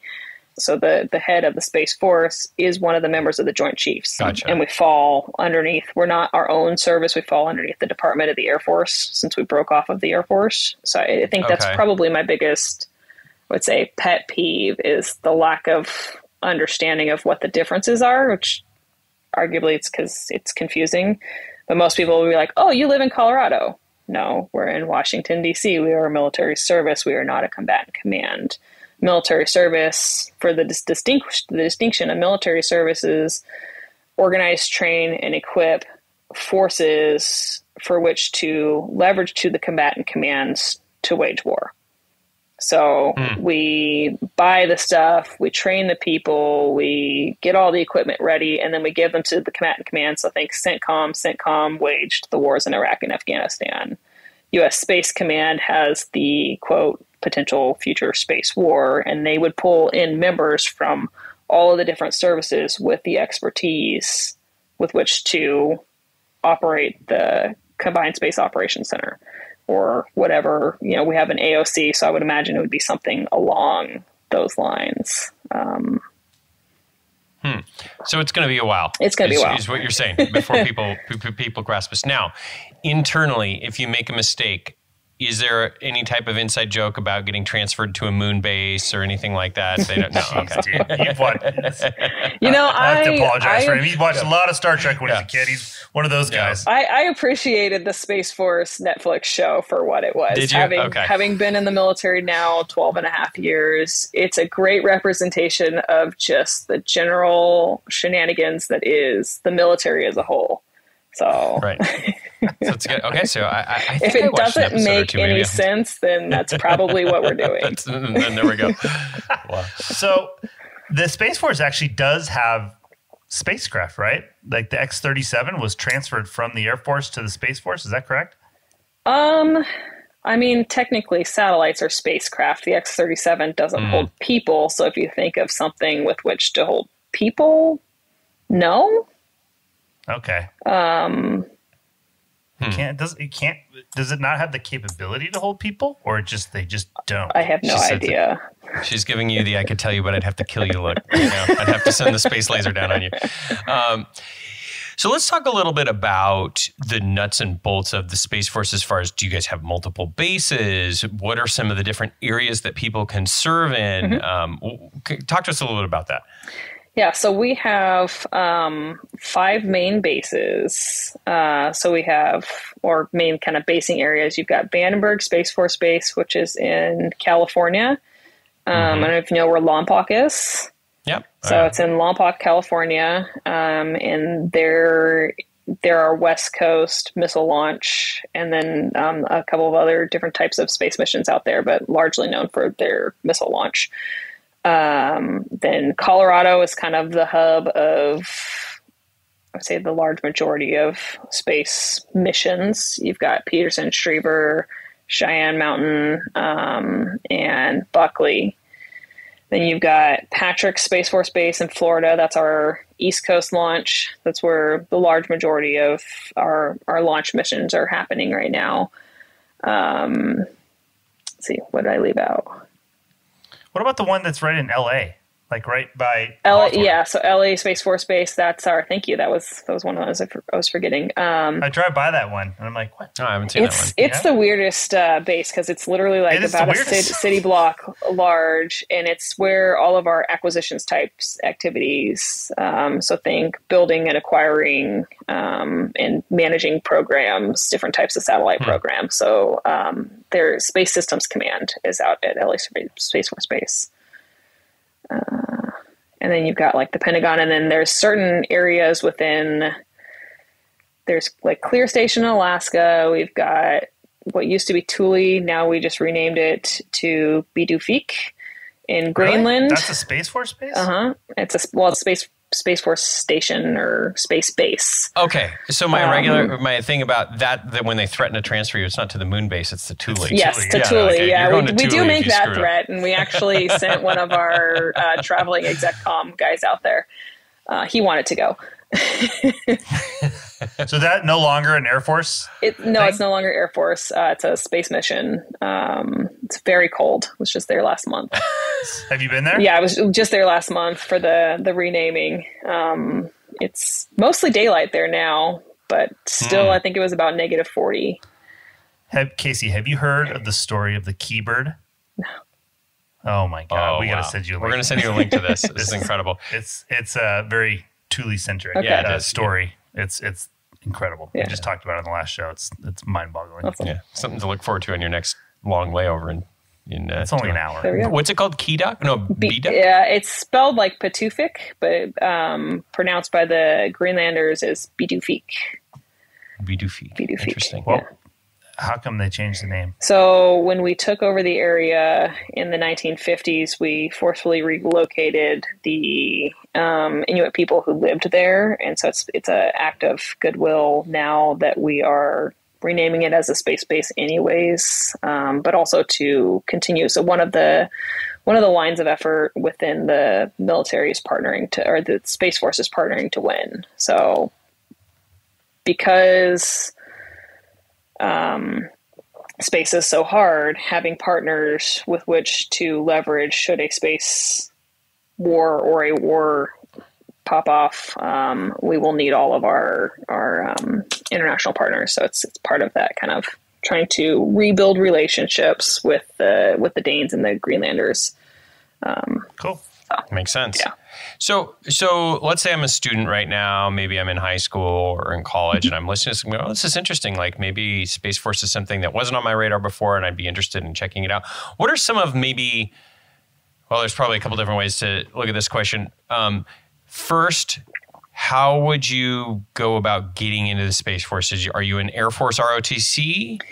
Is that kind of the typical path, or is there a new? Like, talk to us about that. Yeah, so you're going to start out in Air Force ROTC. Um, and I think currently the way they're doing it is like their junior or senior year, they'll type into the Space Force. Um, and that'll depend on degree program, it'll depend on the desire of the person. Like, um, a large majority of, of who we're bringing in are, are STEM type degree programs um, because space is heavily STEM, STEM dependent. Um, so initially, you're going to start out in Air Force ROTC. If you're coming out of high school and you want to enlist, then you're going to go meet with a. I think we've we've got our own Space Force recruiters now, but depending on where you live, it may be an Air Force recruiter to hook you up with a Space Force recruiter. Um, and we're taking. So we are just about 8,000 active duty right now in strength, um, maybe a little bit more, a little bit less. I don't know what the exact number is off the top of my head.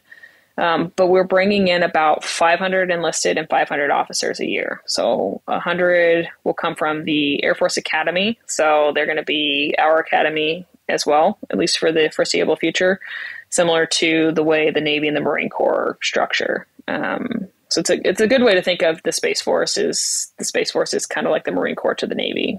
The Space Force is to the Air Force like the Marine Corps is to the Navy. Um, I think eventually, you know, down the road we might have our own Space Force ROTC, but right now we don't have the people to pull from our mission sets in order to staff those kind of functions. So we're relying on the Air Force and the way the, the Space Force stood up. We stood up with the Space Force will pull in the five core expertises we need. So that's intel, cyber, space operators, engineers, and um, shoot, what's the fifth? Um, I know what the fifth one is. It'll come to me. Um, but your your core kind of space missions and functions, and then the Air Force will service us for everything else. So think doctors, think personnel systems are still currently serviced by the Air Force. Um, anything that's not specifically just like a solely purely Space Force thing, the Air Force handles. Security forces for our bases, that's all Air Force bodies. Gotcha. So, um, kind of when we think about what, tri- uh, like a classic example of maybe a mission that you, or not a mission, but like a job you could have, like you, you mentioned, oh, you could be an engineer maybe, Mm-hmm. and so you could have an engineering role, um, and then Acquisitions, more of that's like the fifth one. oh, acquisitions. Yeah. Okay. Um, so um, some cyber. So like if you're interested in like computer technology, there could be a place in Space Force Mm-hmm. for you. Obviously, engineering. Um, and then uh, what was it? SIGINT, you said, I think, or signals intelligence. So uh, like what- Intel. So Or Intel, yeah. I mean, SIGINT is is encompassed in Intel. It's one of the Yeah. specialties. Um, but I think for the most part, well, yeah, I don't know how we shredded out the enlisted um, Intel functions, but I, I'm sure we've got. I, we definitely have Mm-hmm. SIGINTers, just probably not as many as the Air Force does. So, how does what what part does the National Reconnaissance Office play with satellites when now there's a space force? Yeah. So, um, oh, did I lose you? No. Okay. uh, we still got you. Um, so the NRO is it's an interesting relationship because the NRO always kind of had their own. You've got NRO, you've got NGA, you've got all the other three-letter agencies that have their own types of missions, and then there's the Space Force. And in some ways, we can communicate and collaborate, and in other ways, we don't. Um, it's probably the best way I can define that. Kind of like all the other branches of the military, right? In some Right. ways we communicate and we're collaborate. in some ways we're, we're frenemies, don't. right? No, no, I actually Yeah. have a, we have a great great relationship with the NRO. I don't want to say that, um, but it's more so kind of a relationship of convenience of where do we collaborate and where don't we? Like Right. many relationships. Yes, It's yeah, complicated. they, Yes. it's very complicated. Yeah. that makes sense. Uh, last question um, on kind of on the career path. If somebody's interested in aviation, is there any like, does it translate pretty well? Is there any specific roles in Space Force that you can think of that might have more of an aviation slant? Um, not really. Um, Okay. Yeah. Would it be at this juncture, if you want to position yourself for a potential opportunity, would be to go to the Air Force and be a pilot, and then Kind of see. some yeah, because that's where you would think if the Space Force had a need for pilots or astronauts or whatever. That's where you come That's from. kind of where they would come. From. Yeah, and I mean, like, if you wanted to be an astronaut, currently you would have to join the Air Force. I would not say join the Space Force today. Um, will the Space Force of the future get there? I don't know. Um, but right now, the way that the at least the Air Force hires and trains astronauts, they come from pilots. So whereas the way NASA hires and and um, develops their astronauts, you can have any kind of specialty, but within the Air Force and the military, they're largely pilots. Um, or like test pilot type things who get pulled over to be or can apply and, and become astronauts. So when you're on the military base, do you ever have the Air Force? You know, Air Force pilots they have a little bit of swagger. Do you feel like you're kind of one up them? Like if they, oh yeah, I'm an Air Force pilot. You know, they kind of let you know, and then do you say, well, I'm in the Space Force. I'm like above you. Does that? Is there? Do you have any literally card? and figuratively. I'm out of this like- world. Yeah. She's been waiting all day to drop that one. Thanks for setting me up so perfectly. Yeah, yeah. Um, no, so I mean, I'm the pilots I I work with in in my current job um, are not your typical pilots, I would say, because we fly um, the executive. They're humble. Yeah. They're, they're like the Gulfstream and the um, so Yeah, the, right. the Gulfstream and the C, uh, 737 type pilots. So most of them are actually reservists um, who may, yeah. So Okay, Kacie. So you're at a family holiday dinner. People go. They know you're in the Space Force. I imagine Grandma goes, "What is it exactly that you do?" right? I mean, you must get this question a lot. So how do you explain your role in Space Force? Um, I mean, so right now I have a really unique role. Um, I am the aide de camp for the chief of space operations. So essentially, a super fancy way of saying that I work directly for um, General Saltzman and largely am in charge of anytime he's on travel. So anytime you see like he flew somewhere, like take it New Zealand in December, um, I'm there with him, making sure all of his kind of keeping the schedule and keeping him on time, um, Right. carrying all the stuff and all the stuff and things. Um, I'm a glorified pack mule. Um,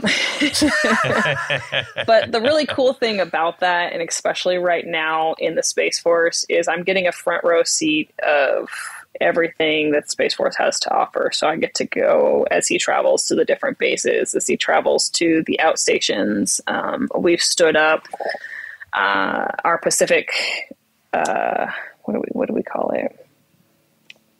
Space Forces, uh, Director Space Force um, in Europe, Director of Space Forces, and then our Pacific Space Forces uh, out in Hawaii. So I got to go for both of those stand up ceremonies. And then we've also brought on a lot of Army missions. So, kind of seeing what some of those different missions look like as we bring them into the Space Force. So, it's kind of like getting to walk in the initial stages of, think, you know, tie it back to you guys, think of the initial stages of the Air Force and kind of having a front row seat of all the different missions and the bases as we stood them up.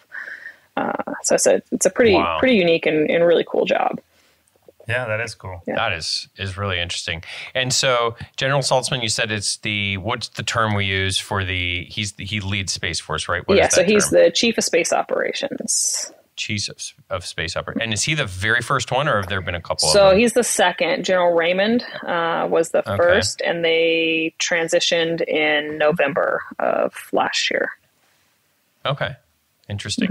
And now I, I did, uh, one thing I saw when I was reading about this is that you guys use the term guardian a lot. Where did that come from? So guardian, who gets to be called a guardian? yeah. So anyone, just like an air, a airman is to the Air Force, a guardian is to the Space Force, or a soldier is to the Army, um, a Marine is to the Marines, sailor is to the Navy. So that's what we call all of our people within the Space Force. We're guardians. I would say that we're still developing kind of that culture. That's that's probably the other question of like what is the Space Force? What does it what does it feel like to be in the Space Force? What does it mean to be a guardian? Um, so right now we have kind of the guardian ideal and what we call the four C's: the character, courage, commitment, and connection. Um, and we're honestly the Space Force right now feels like it feels like a startup um, in a really cool way.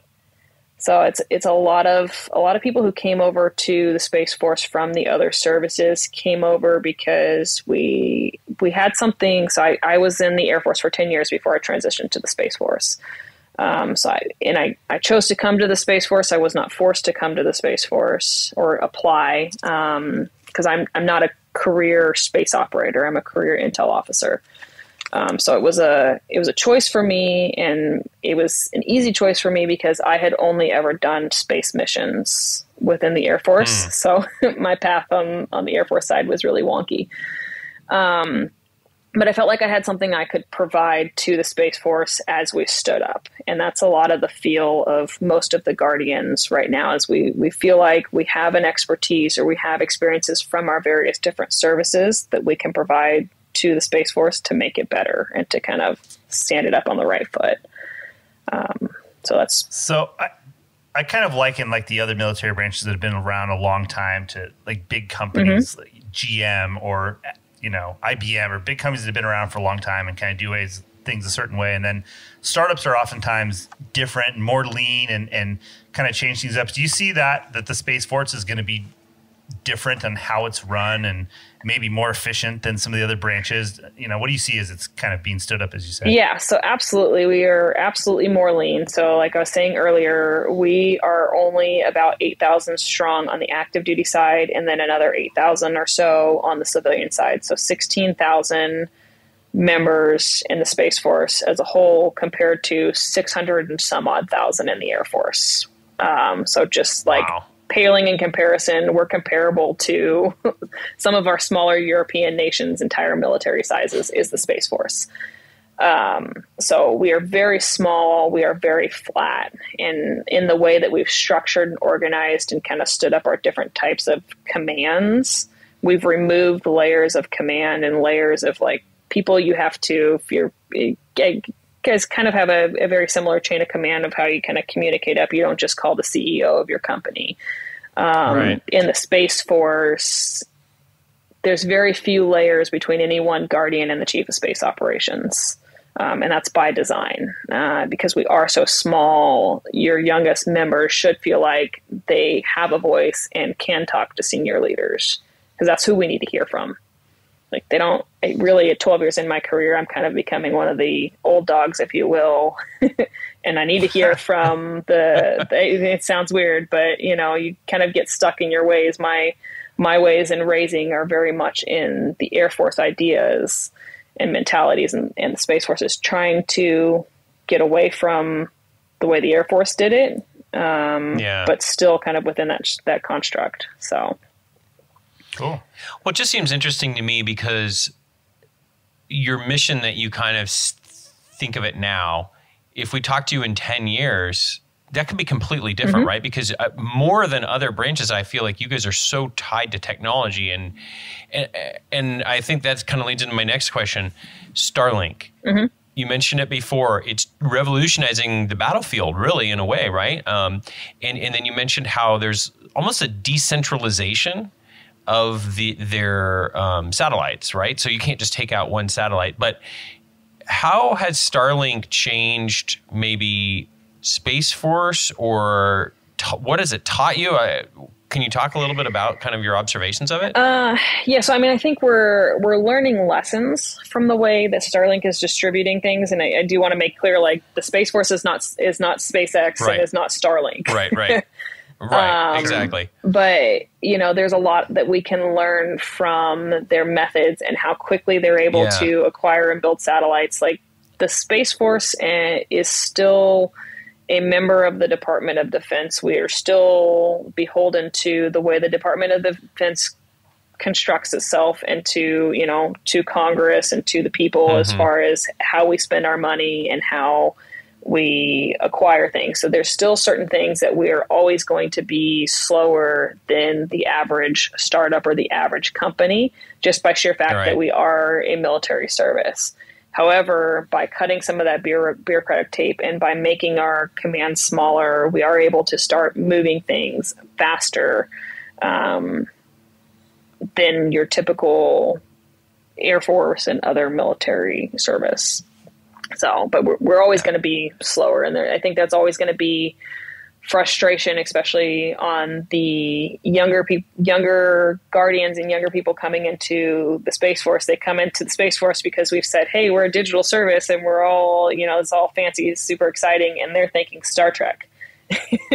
and we Right, give them right. a I, what is this like an iPhone 12 that's still operating the BlackBerry interface, and you're like, I'm pretty sure the DoD is single-handedly keeping BlackBerry alive because who else uses a BlackBerry except for the DoD? Right. Um, so like, Wait, but it, but it's an interface on an it's iPhone. awful. It is absolutely awful. um, So it's like a BlackBerry app. it's a that turns your BlackBerry app. into a That's how we get our email. Um, Oh But- my god! Do wait? Do you still have that? What was the messaging? BlackBerry Messenger. that was money. yeah. That's the Yeah, only we thing. You I have don't- got. BBM yeah. still? So we don't have that, Oh. thankfully. We can text like a normal iPhone. Um, but we've Uh. taken we take things like an iPhone or an iPad and we make them compatible with the security apparatuses that are acceptable to a military standard. But in doing that, Yeah. we slow things down, we break them, and what young people are coming into the Space Force thinking and what their impression is and what we actually are living in. We're just we're not there yet. It's going to take time. You're gonna have to have patience. You're gonna have to be willing to roll up your sleeves and deal through you know work through some of the kind of grunt work that is standing up service. We haven't done this in 75 years. Right. Um, so like there is no rule book. There is no this is how you do this. We're we're just learning it as we go. Um, so it's, it's exciting, but it's very frustrating at times. Do you ever have any of the young people ask you if there's any work from home opportunities? all the time all the time we still Uh, we still have people home. that are that are teleworking in in various different methods and in career fields throughout like the entire dod um, just like the federal service does and and you know you guys can't work Also, from home because Slow to come back yeah yeah to the office. Yeah. right. Slow to come back. yeah Um, so, okay, this might be a really dumb question. I guess if you have to go through the Air Force first, uh, are like the physical fitness requirements any difference in space force for that if they if we've got any couch potatoes that are listening and think they've they've got a shortcut is that true So it is a congressional mandate that military services will have a physical fitness assessment. So I want to, you know, throw that out there that you're not going to mm. come and be in a military service and not have a physical requirement of some sort. However, what I will say is wonderful about where we are currently is what the Space Force is trialing is wearables, and I've got my fancy oh, Garmin watch there it is um, it's the this is I think the Garmin Fenix. We're this is one of the early ones, and then we're rolling out some some new uh, watches in the next couple of months that'll be more available to to more Guardians. This is this is one of the early trials. Um, but what we're looking at is the physical fitness assessment as it stands in the military services is a snapshot of what I like to call within the Air Force. It's 15 minutes of my life once a year if I score a 90. Like, really, I can pull my butt around the track six times and do some push ups and sit ups and be pretty out of shape. Um, you know, like it's it's not that hard uh, to pass Right. if you study for it, if you will what Space Force is looking at, because we are so small, we are able to do things differently, and we're we're looking at what's called the holistic health assessment. So part of that is a wearable technology that, um, and we're still working out all of the like the data and what your commanders can see and what's punitive and what's not. And you know, there's there's going to be probably years of figuring that out.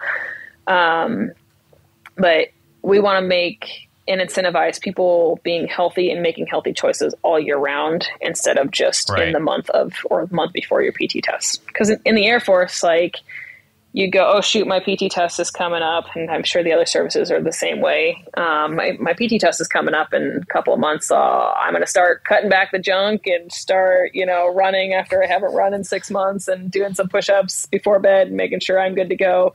And then as soon as you pass, you go and you eat an entire box of Oreos, or like you're you're not making consistent healthy choices all year round. And it's not true for everybody, but I would say that it only incentivizes Mm, a it's the majority. small portion of the time for you to be fit.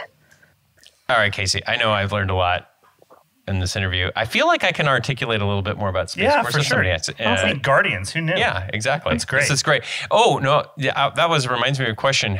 Because didn't the Washington football team just rename themselves the Guardians too? Did they? I know the Cleveland. Oh, Cleveland. no, I'm um, sorry. It's yes. Cleveland. It's the baseball team. Yeah. Yes.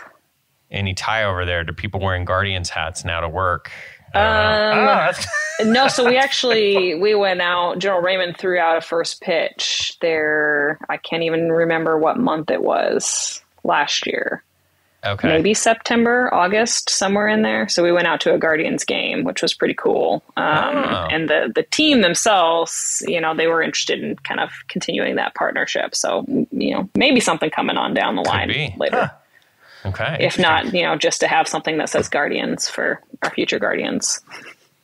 Right. But- They ha- they haven't won a World Series yet, though. I don't think. Or it's been a really long time. So maybe this is the boost they need. who knows? That's okay. Yeah, We're the we'll baby see. service, so we understand underdogs. You guys are growing. grow together. Uh, interesting. Um, okay, so we'll get you out of here on the last question, um, Kacie. Uh, go Well, I ahead, have a couple Yeah. questions. Oh, So, okay, traveling around as the aide de camp, Yeah. uh, you must go to some pretty cool places. Well, one, my question is, how are you guys traveling? Yeah, so Is we travel. PJ travel involved. Is it a lot of what? PJ, private jet. Oh yes. Um, I mean, think military private jet, so Right, it's yeah. still you know of a military Yeah, standard. there's a radio operator and a flight engineer, and Yeah. a It sure is. So on the yes, yes. Um, the little, the little. It's not a radio operator anymore. They're kind of a comm guy trying to keep us in internet as we fly up high north and and lose our internet and get frustrated that we can't work. Right. Um, and they sit in like this little teeny tiny closet. Um, Left but we can five fit. degrees. It's the Ford Yes. Lab in, in a civilian Turn the and then He's satellite. in there. yes, he is. um, so we fit about can fit up to twelve, depending on the configuration on the Gulfstream. Um, predominantly, so your service chiefs, your secretaries, and your combatant commands are all what's considered a- like a uh, must-ride mill air, and that's to preserve their time. Um, so we're able to do things like work a full day, leave at 8 p.m., fly all night long to Europe, and then hit the ground running, um, which sounds really cool, super exhausting in practice. Yeah, right. being efficient is exhausting. Yeah. yes, being efficient is super exhausting. It's really cool though because it means you get to you know go and see a lot of cool places. Um, we I've been to Europe a couple of times, Germany, Norway, Scotland, um, New Zealand, Hawaii, Japan, um, Greenland, and then all throughout the U.S. So we'll we'll do something like you know I'll get up at my normal time, leave the house at six o'clock in the morning, drive to Andrews, we'll fly to Florida, do an entire day, and I'm back home by seven p.m. So it, it makes the the schedule really tenable, Yeah. but exhausting as you're shaking your head. So, how often are you traveling a month? Right now, it's not so bad because we just finished. Uh, so in the springtime, you have all of your posture hearings in, in the different committees over in Congress. So we just finished all of those hearings. So you're, you're largely here in the DC area, um, but at least a couple times a month. Uh, for a while there, as I started with General Raymond, and as he finished his tenure, we were pretty much. I started with him in June and then they transitioned in November, and I think I was home a grand total of about two weeks straight between June and November. We're just constantly Wow. on the road. Wow. And then you mentioned uh, Cheyenne Mountain is a Space Force facility, right? hmm Have you been there? I have, yeah, Like in the mountain? In the mountain. Yep, giant, giant. Uh, it's everything that you've seen in the movies. The giant doors that close and and lock down. So it's it's designed to be your kind of last stand missile warning location. Like things are firing, we're locking in the mountain and and the little pods. That's that's actually I don't know if you know this. That's where the Colorado Springs are because the pods are on these giant springs, and that's your that's your Colorado yeah, for Springs the right there in shockwave. the So they, mountain. Yeah. yeah, that's Ah, pretty funny. gotcha. Who would have thought? How's the uh, how's the cell phone service in there? not so great. Not so great. Your yeah. BlackBerry can't uh, No, my- even my the BlackBerry can't doesn't- penetrate doesn't hold up That much granite? My Oh, BlackBerry can't penetrate my bedroom That's walls cool. half the time. Uh, now, have you watched the show Veep? I have not. Okay, because they've got um, that's the vice president show, and they have kind of the aide for the vice president running Uh-huh. around. I'm just picturing this person like holding this big leather like folio and briefcase and like all the this, football. yeah, just all Yeah. this stuff. And uh, Like, do you wear glasses at work and your hair's all messed up Yeah, and you're just you're running just- around? I mean, my hair is often messed up, and I do carry a very large bag. Yes, um, it is not the same football that the that the vice president carries. It's uh, Yeah. largely full of Nothing that other nothing's things. handcuffed to your wrist or anything. okay, No, no, Okay. that it should be sometimes because I leave little pieces of my soul all around the world in this job. But as I'm All sure right. you're also familiar with, with Yes, the travel. that's right. That's right. Um, okay, I'll get you out on this last question. What would be your dream job in the Space Force one day? Is there something that you're you're aiming towards, or a passion that you have that you could see um, in the Space Force? Any uh, any thoughts on that? Sorry, I didn't mean to put you on the spot. But here we go. But, but we're putting you on Yeah, the spot. that's we're a putting on the spot. Go ahead, And I'm on the spot. it. Nobody's Um, answering. just us. yeah, I just um, it's hard to say. I think like right now, so I'm a like I said, I'm a career intel officer. What I would love to do is do something like I'm I'm coming up to the point in my career where I'll be moving into leadership positions, so like squadron and then um, Delta Command. Um, and I would love to command a squadron that's not just a intel squadron. So, uh, largely in the Air Force, we're very stuck in our camps, if you will. So, if you're an intel person, you're going to stay within intel, and you must color within the intel lines. Otherwise, you don't you don't march to the same beat of the drum of your peers, and you're not going to promote. And Space Force is trying to get away from that slowly where we're so small, um, there, you know, you've got to be steeped in what our missions are and have an understanding of um, our operations and then the other specialties as well. So I would love to kind of bridge that gap since I, I do have a large space focus and, and command um, either like some kind of space situational awareness miss- mission or, or something down the lines, but not really anything that's like super cool or sexy or anything. Um, but well, it's like you mentioned, you know, I mean, you're at a startup right now. Yeah. And also, I think, especially with the technology, the way it changes is, again, I think, you know, 15 years, your mission could change a little bit, you know? and Absolutely. Yeah. You could so be, who knows you what know, it looks like. trying to stop the AI, AI from launching its own satellite. Who knows? So that is exciting. Well, um, Major Kacie Lawler, we really appreciate you joining us today to, to educate us a little bit um, on the Space Force. A little bit. Yeah, a lot. Yeah, I think we I learned went a lot today. I went from be zero honest. to yeah. knowing a tiny little bit at least. But um, Awesome. Awesome. uh, so next time Max is at Cheyenne Mountain, he's going to reach out and um, for a tour. yeah. try and get a don't, little tour. don't get your Uh, fingers stuck in the yeah. springs. Yeah. uh, thank you so much, and uh, we appreciate it. Awesome. Yeah. Thanks for having me. I appreciate it. Yeah, go Eagles. And, oh All yeah, right. go Eagles! Yeah. Go Eagles. Oh, Max, that was really cool. Refreshing to uh, talk to somebody from Embry Riddle that clearly did not spend time with us uh, and get weighed down uh, in the in the mud. Kacie's on a much better trajectory. Yes, much higher trajectory, yes, doing real things. Uh, doing real things. So uh, good, good, good move, Kacie, not hanging out with us at Embry Riddle. Uh, but uh, thank you for coming on and educating us a little bit about Space Force. I really enjoyed learning about it, and it's just it's cool to hear that there is forward-thinking individuals that are planning for the next the next frontier, as they say. Moving on to flight advice. This is a big one, Max. So of course we'd like to thank our friends at Harvey Watt for sponsoring, longtime sponsors of flight advice. You can see all of the offerings that Harvey Watt has for professional pilots around the globe. Loss of medical insurance, life insurance. It's all there at harveywatt.com. You can log in, play with the little calculator there, see exactly what your premium would be. It's money well spent protecting that valuable piece of white paper, which I'm happy to announce. Um, I finally found a wallet that fits that thing without barely having to fold it. So huge accomplishment. Yeah. I didn't even know that was a problem. So Yeah. Well, what, how do you fold your medical? into force and shove it in there behind my certificate, and I literally don't think about it at all. Don't you? Oh, you're not a commuter. You don't have to pull it out. Oh yeah, no. The commuters, it's a pain in the butt because you're I see. constantly pulling it out. Yeah. Anyways, get- harveywatt.com. Protect that piece of paper however you fold it.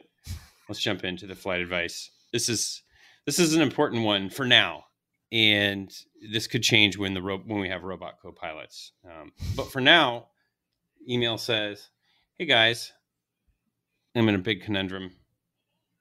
I'm a younger dude flying with an older pilot. Usually, we enjoy our time flying together in the cockpit. The problem stems when we get on the ground.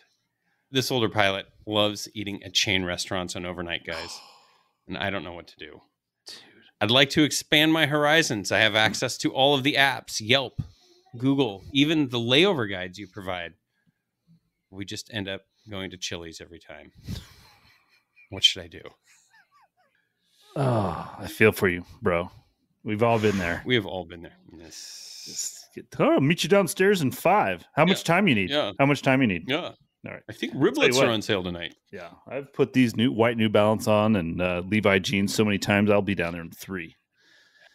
So yeah, a homeboy rolls downstairs and it's like, well, what's it tonight? Applebee's, Chili's, or uh, should we Yeah. splurge at the Outback? TGI Fridays. It- And it's worse. It adds insult to injury when you're in a place like London.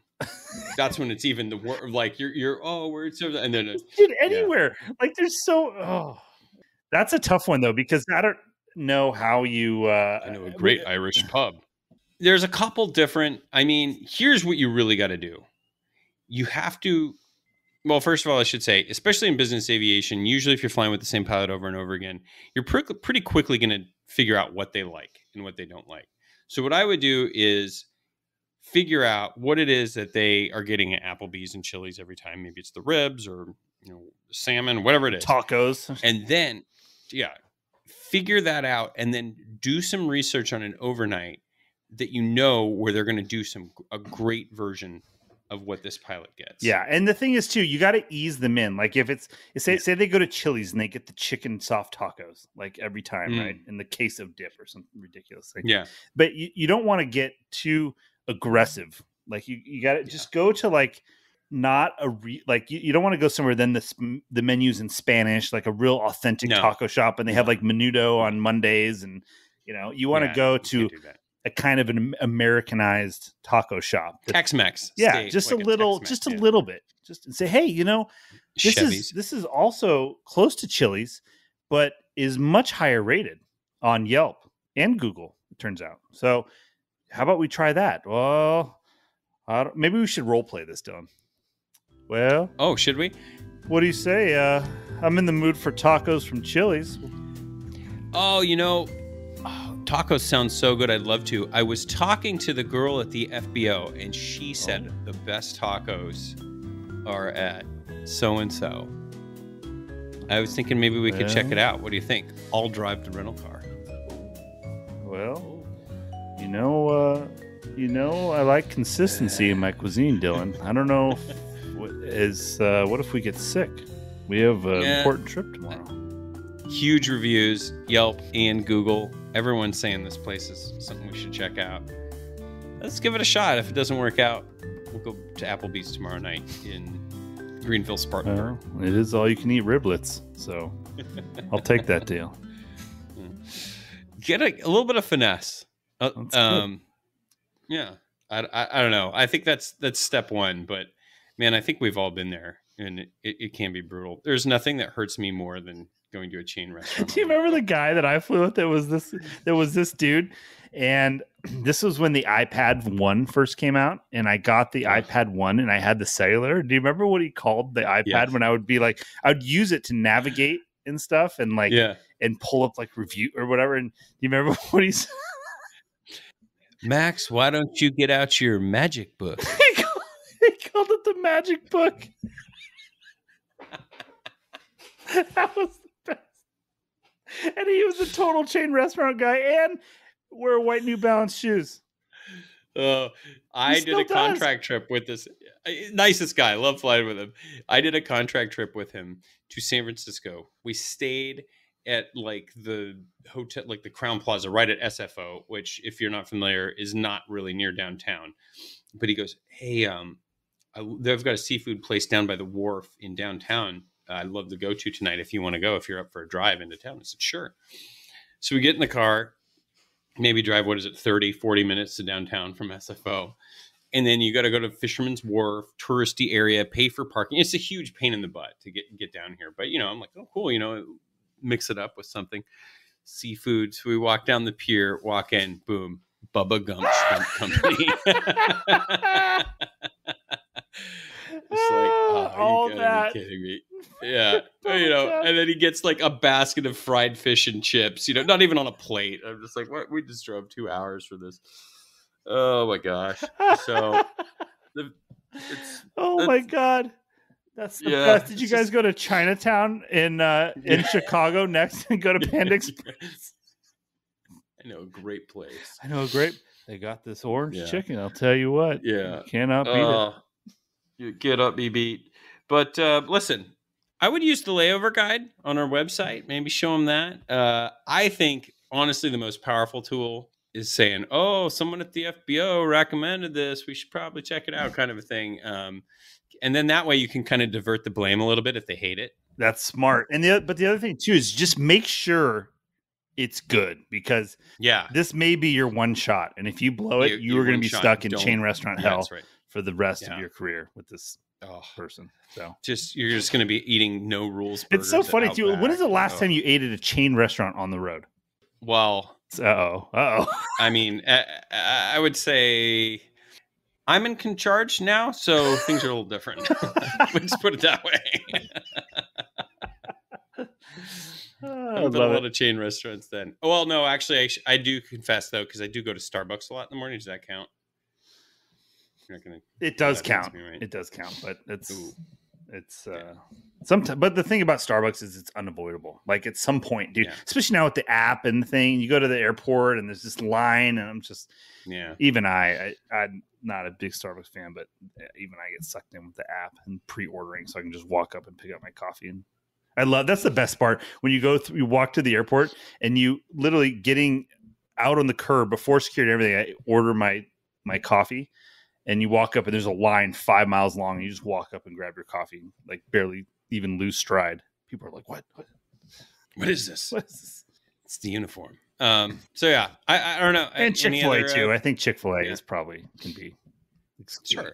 And, and on any length of trip. I mean, listen. Sometimes you got to go to Outback Steakhouse. It's okay. I told you. I listened to this. This is actually pretty fun. I don't know if I should divulge this, but I'm going to anyway. So, you know how the line at Chick fil A gets very egregious, right? At the, at the airport. I mean, the scene. And a lot of times, too, certain airports like San Jose, like it can be a, a, a, haul, a walk to Chick fil A Oh yeah. and, and you have a quick turn or whatever. And so it's, it's usually, it's, it's actually impossible to wait in the Chick fil A line and get your food and make it back in, on time. Yeah. And so I've walked up there in this huge line. And I just walk up right to the front. I'm like, sorry, everyone. I got I got a quick, I got a flight I got to catch. Uh, only in uniform, obviously, at work. And just Yeah. go up. I'm like, I'm, is that okay? If do you mind if I cut in line? I just have no time. They're like, oh, yeah, yeah, no problem. No problem. Yeah, yeah. But the best is when you do that and there's other, there's Mm. other crew members Oh, waiting in other the crew line. members in line. Oh yeah. You're like, oh, See, that was what I was Quick turn. Say. Like, You got a quick turn. sure- Yeah, yeah, yeah. You got to make sure uh, who else is in line. I do only pull, play that card though. Like seriously, when I don't have any time. Otherwise, Okay, you know. I'll allow it. I'll allow Thank you. I feel better now. Yeah. If anyone gives you Yeah, a hard time, Get that one off your chest. Yeah. if you see anyone see anyone uh, aggressively cutting to the front of the line Chick Fil A, it's probably You- you Max. know, Hit him up. actually, He'll have some stickers. You want to what? Listen to this. This happened in Dallas, in uh, Dallas Love Field. I was waiting in the Chick Fil A line, and I kind of wasn't paying that much attention to the time or whatever. All of a sudden, I look. I'm like, oh my! I was like, two more people to go, and it's me. And I'm like, oh my god! I'm like, there's. I don't. I literally don't have time because by the time I order and wait for my food, I'm not gonna have time. And so I'm like, and I kind of like sighed, and I get out of line, and I walked, and my the gate I was going to was right, like direct line of sight, right across from Chick Fil A, like not very far. So I walk and I, I walk down and you know go to the cockpit and do my thing and blah blah blah. And like 10 minutes later uh, the ops agent walks down with a chick-fil-a bag and she hands it to me. She goes hey she goes somebody uh, who was waiting in line at chick-fil-a saw you not be able to order your food and and so they bought you a sandwich and they like walked it over my gate and Mm. gave it to the ops agent she walked down and gave it to me No way. i swear it was awesome Wow. i know this it restored some faith in humanity for me That was incredible. that's all that's all the chick-fil-a stories i have for right now thank you yeah.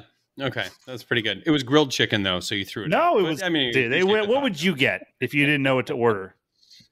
I just like the regular Yeah, crisp, just the or, original. like crispy chicken Original. sandwich. Yeah, You can't go wrong Yeah. with the original. That's awesome. I know. It's awesome. Maybe they were a fan. Random act of kindness. That's Try right. it sometime. So uh, I, I hopefully we answer your question. I think just be careful. Uh, definitely worth doing though. I think because once you can kind of make that that convert, when you can slowly win them over, maybe just one meal a trip you get to pick eventually. Or what do you think about the other option of just going on like a hunger strike, just being like, "Hey, I'm going to this other place." What do you just power move them and be like, "Take the car. I'm just going to walk to this other place over here." Do you think that's a good move where you split up, or is it better to stay together? I think you obviously have to go down the uh, the road of compromise first. It's just like it's often it's like marriage, you know. Yeah. you got to try everything you can first, but at at some point, if there's just no movement on either end, you know, you're just going to have to go to the Lebanese place down the street. That's just it. That's all you have to do. He's got the special garlic sauce. There's nothing else you can do about it. It's unbelievable. This economy. It's the story for another day. Uh, all right. Well, uh, hopefully we uh, provided some flight advice. If you have any tips, tricks, uh, or uh, secrets on how to convince that uh, other crew member that does not have a very uh, adventurous palate into uh, exploring out beyond the, the world of chain restaurants, please write in and let us know. We realize uh, there's probably more than one way to skin this cat. So, uh, info at 215podcast.com. We'd love to hear your secrets. Is the Bubba Gump On how story true though? It's 100% true. I have a That's the great seafood place for you. Oh, I, it would have been one thing like if we had driven like a mile, but we drove 45 minutes and then had to park in some public parking structure, pay for that, then walk across this whole pier.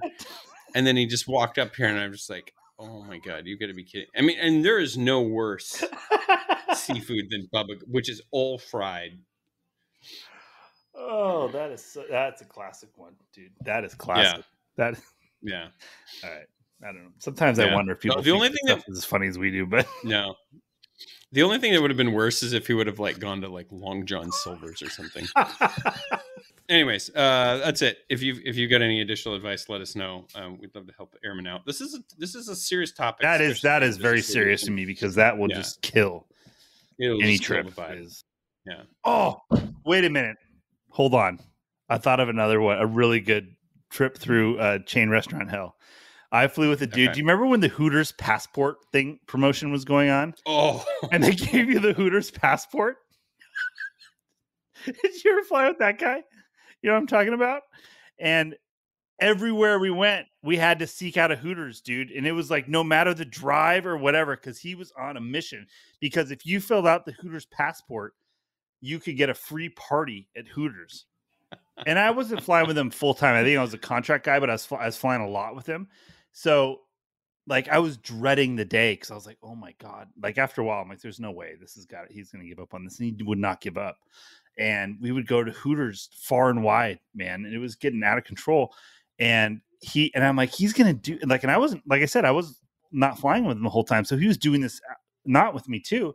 I'm like, oh my god, dude, this guy is going to get the Hooters party. If I get an invitation to the Hooters party in fe- in town, there's no way I'm going to that. And I, I don't know that he ever did achieve. what, what what what kind of party is being held at a Hooters? I Like, dude, what, is- what are you something winning? stupid. You, you, you and 20 Yeah. of your guests, and we'll give you 150 wings and you know two beers per person. It's the dumbest thing ever. I remember this. I totally. it would be the biggest complete utter name. waste of time ever and the, so not only you're going to a chain restaurant but you're going to the same freaking driving. chain and th- their menu is not very diverse it's not like you're going to the cheesecake factory and there's 900 Yeah. pages like dude this is hooters so that was the worst that one that one takes the cake and there was no talking That does it take you the cake. you it was miller Lite and the hooters dude that was it It's time to wrap it up. Okay. Well, uh, well, that is going to do it for number 102. Thank you so much to our listeners who wrote emails and reviews for us. Mr. Timothy P. Pope joining us with his financial expertise. Kacie Lawler joining us to educate us on Space Force, Advanced Aircrew Academy, Harvey Watt, and Joel, who keeps us organized and on time, especially when we're all on vacation. Thank you, Joel. Appreciate it. Hey, thanks, guys. Yeah. All right. Well, until until next time, remember. flexibility is the key to getting interviews together with multiple pilots we'll see you next time The statements made in this show are our own opinions and do not reflect, nor were they under any direction from any of our employers.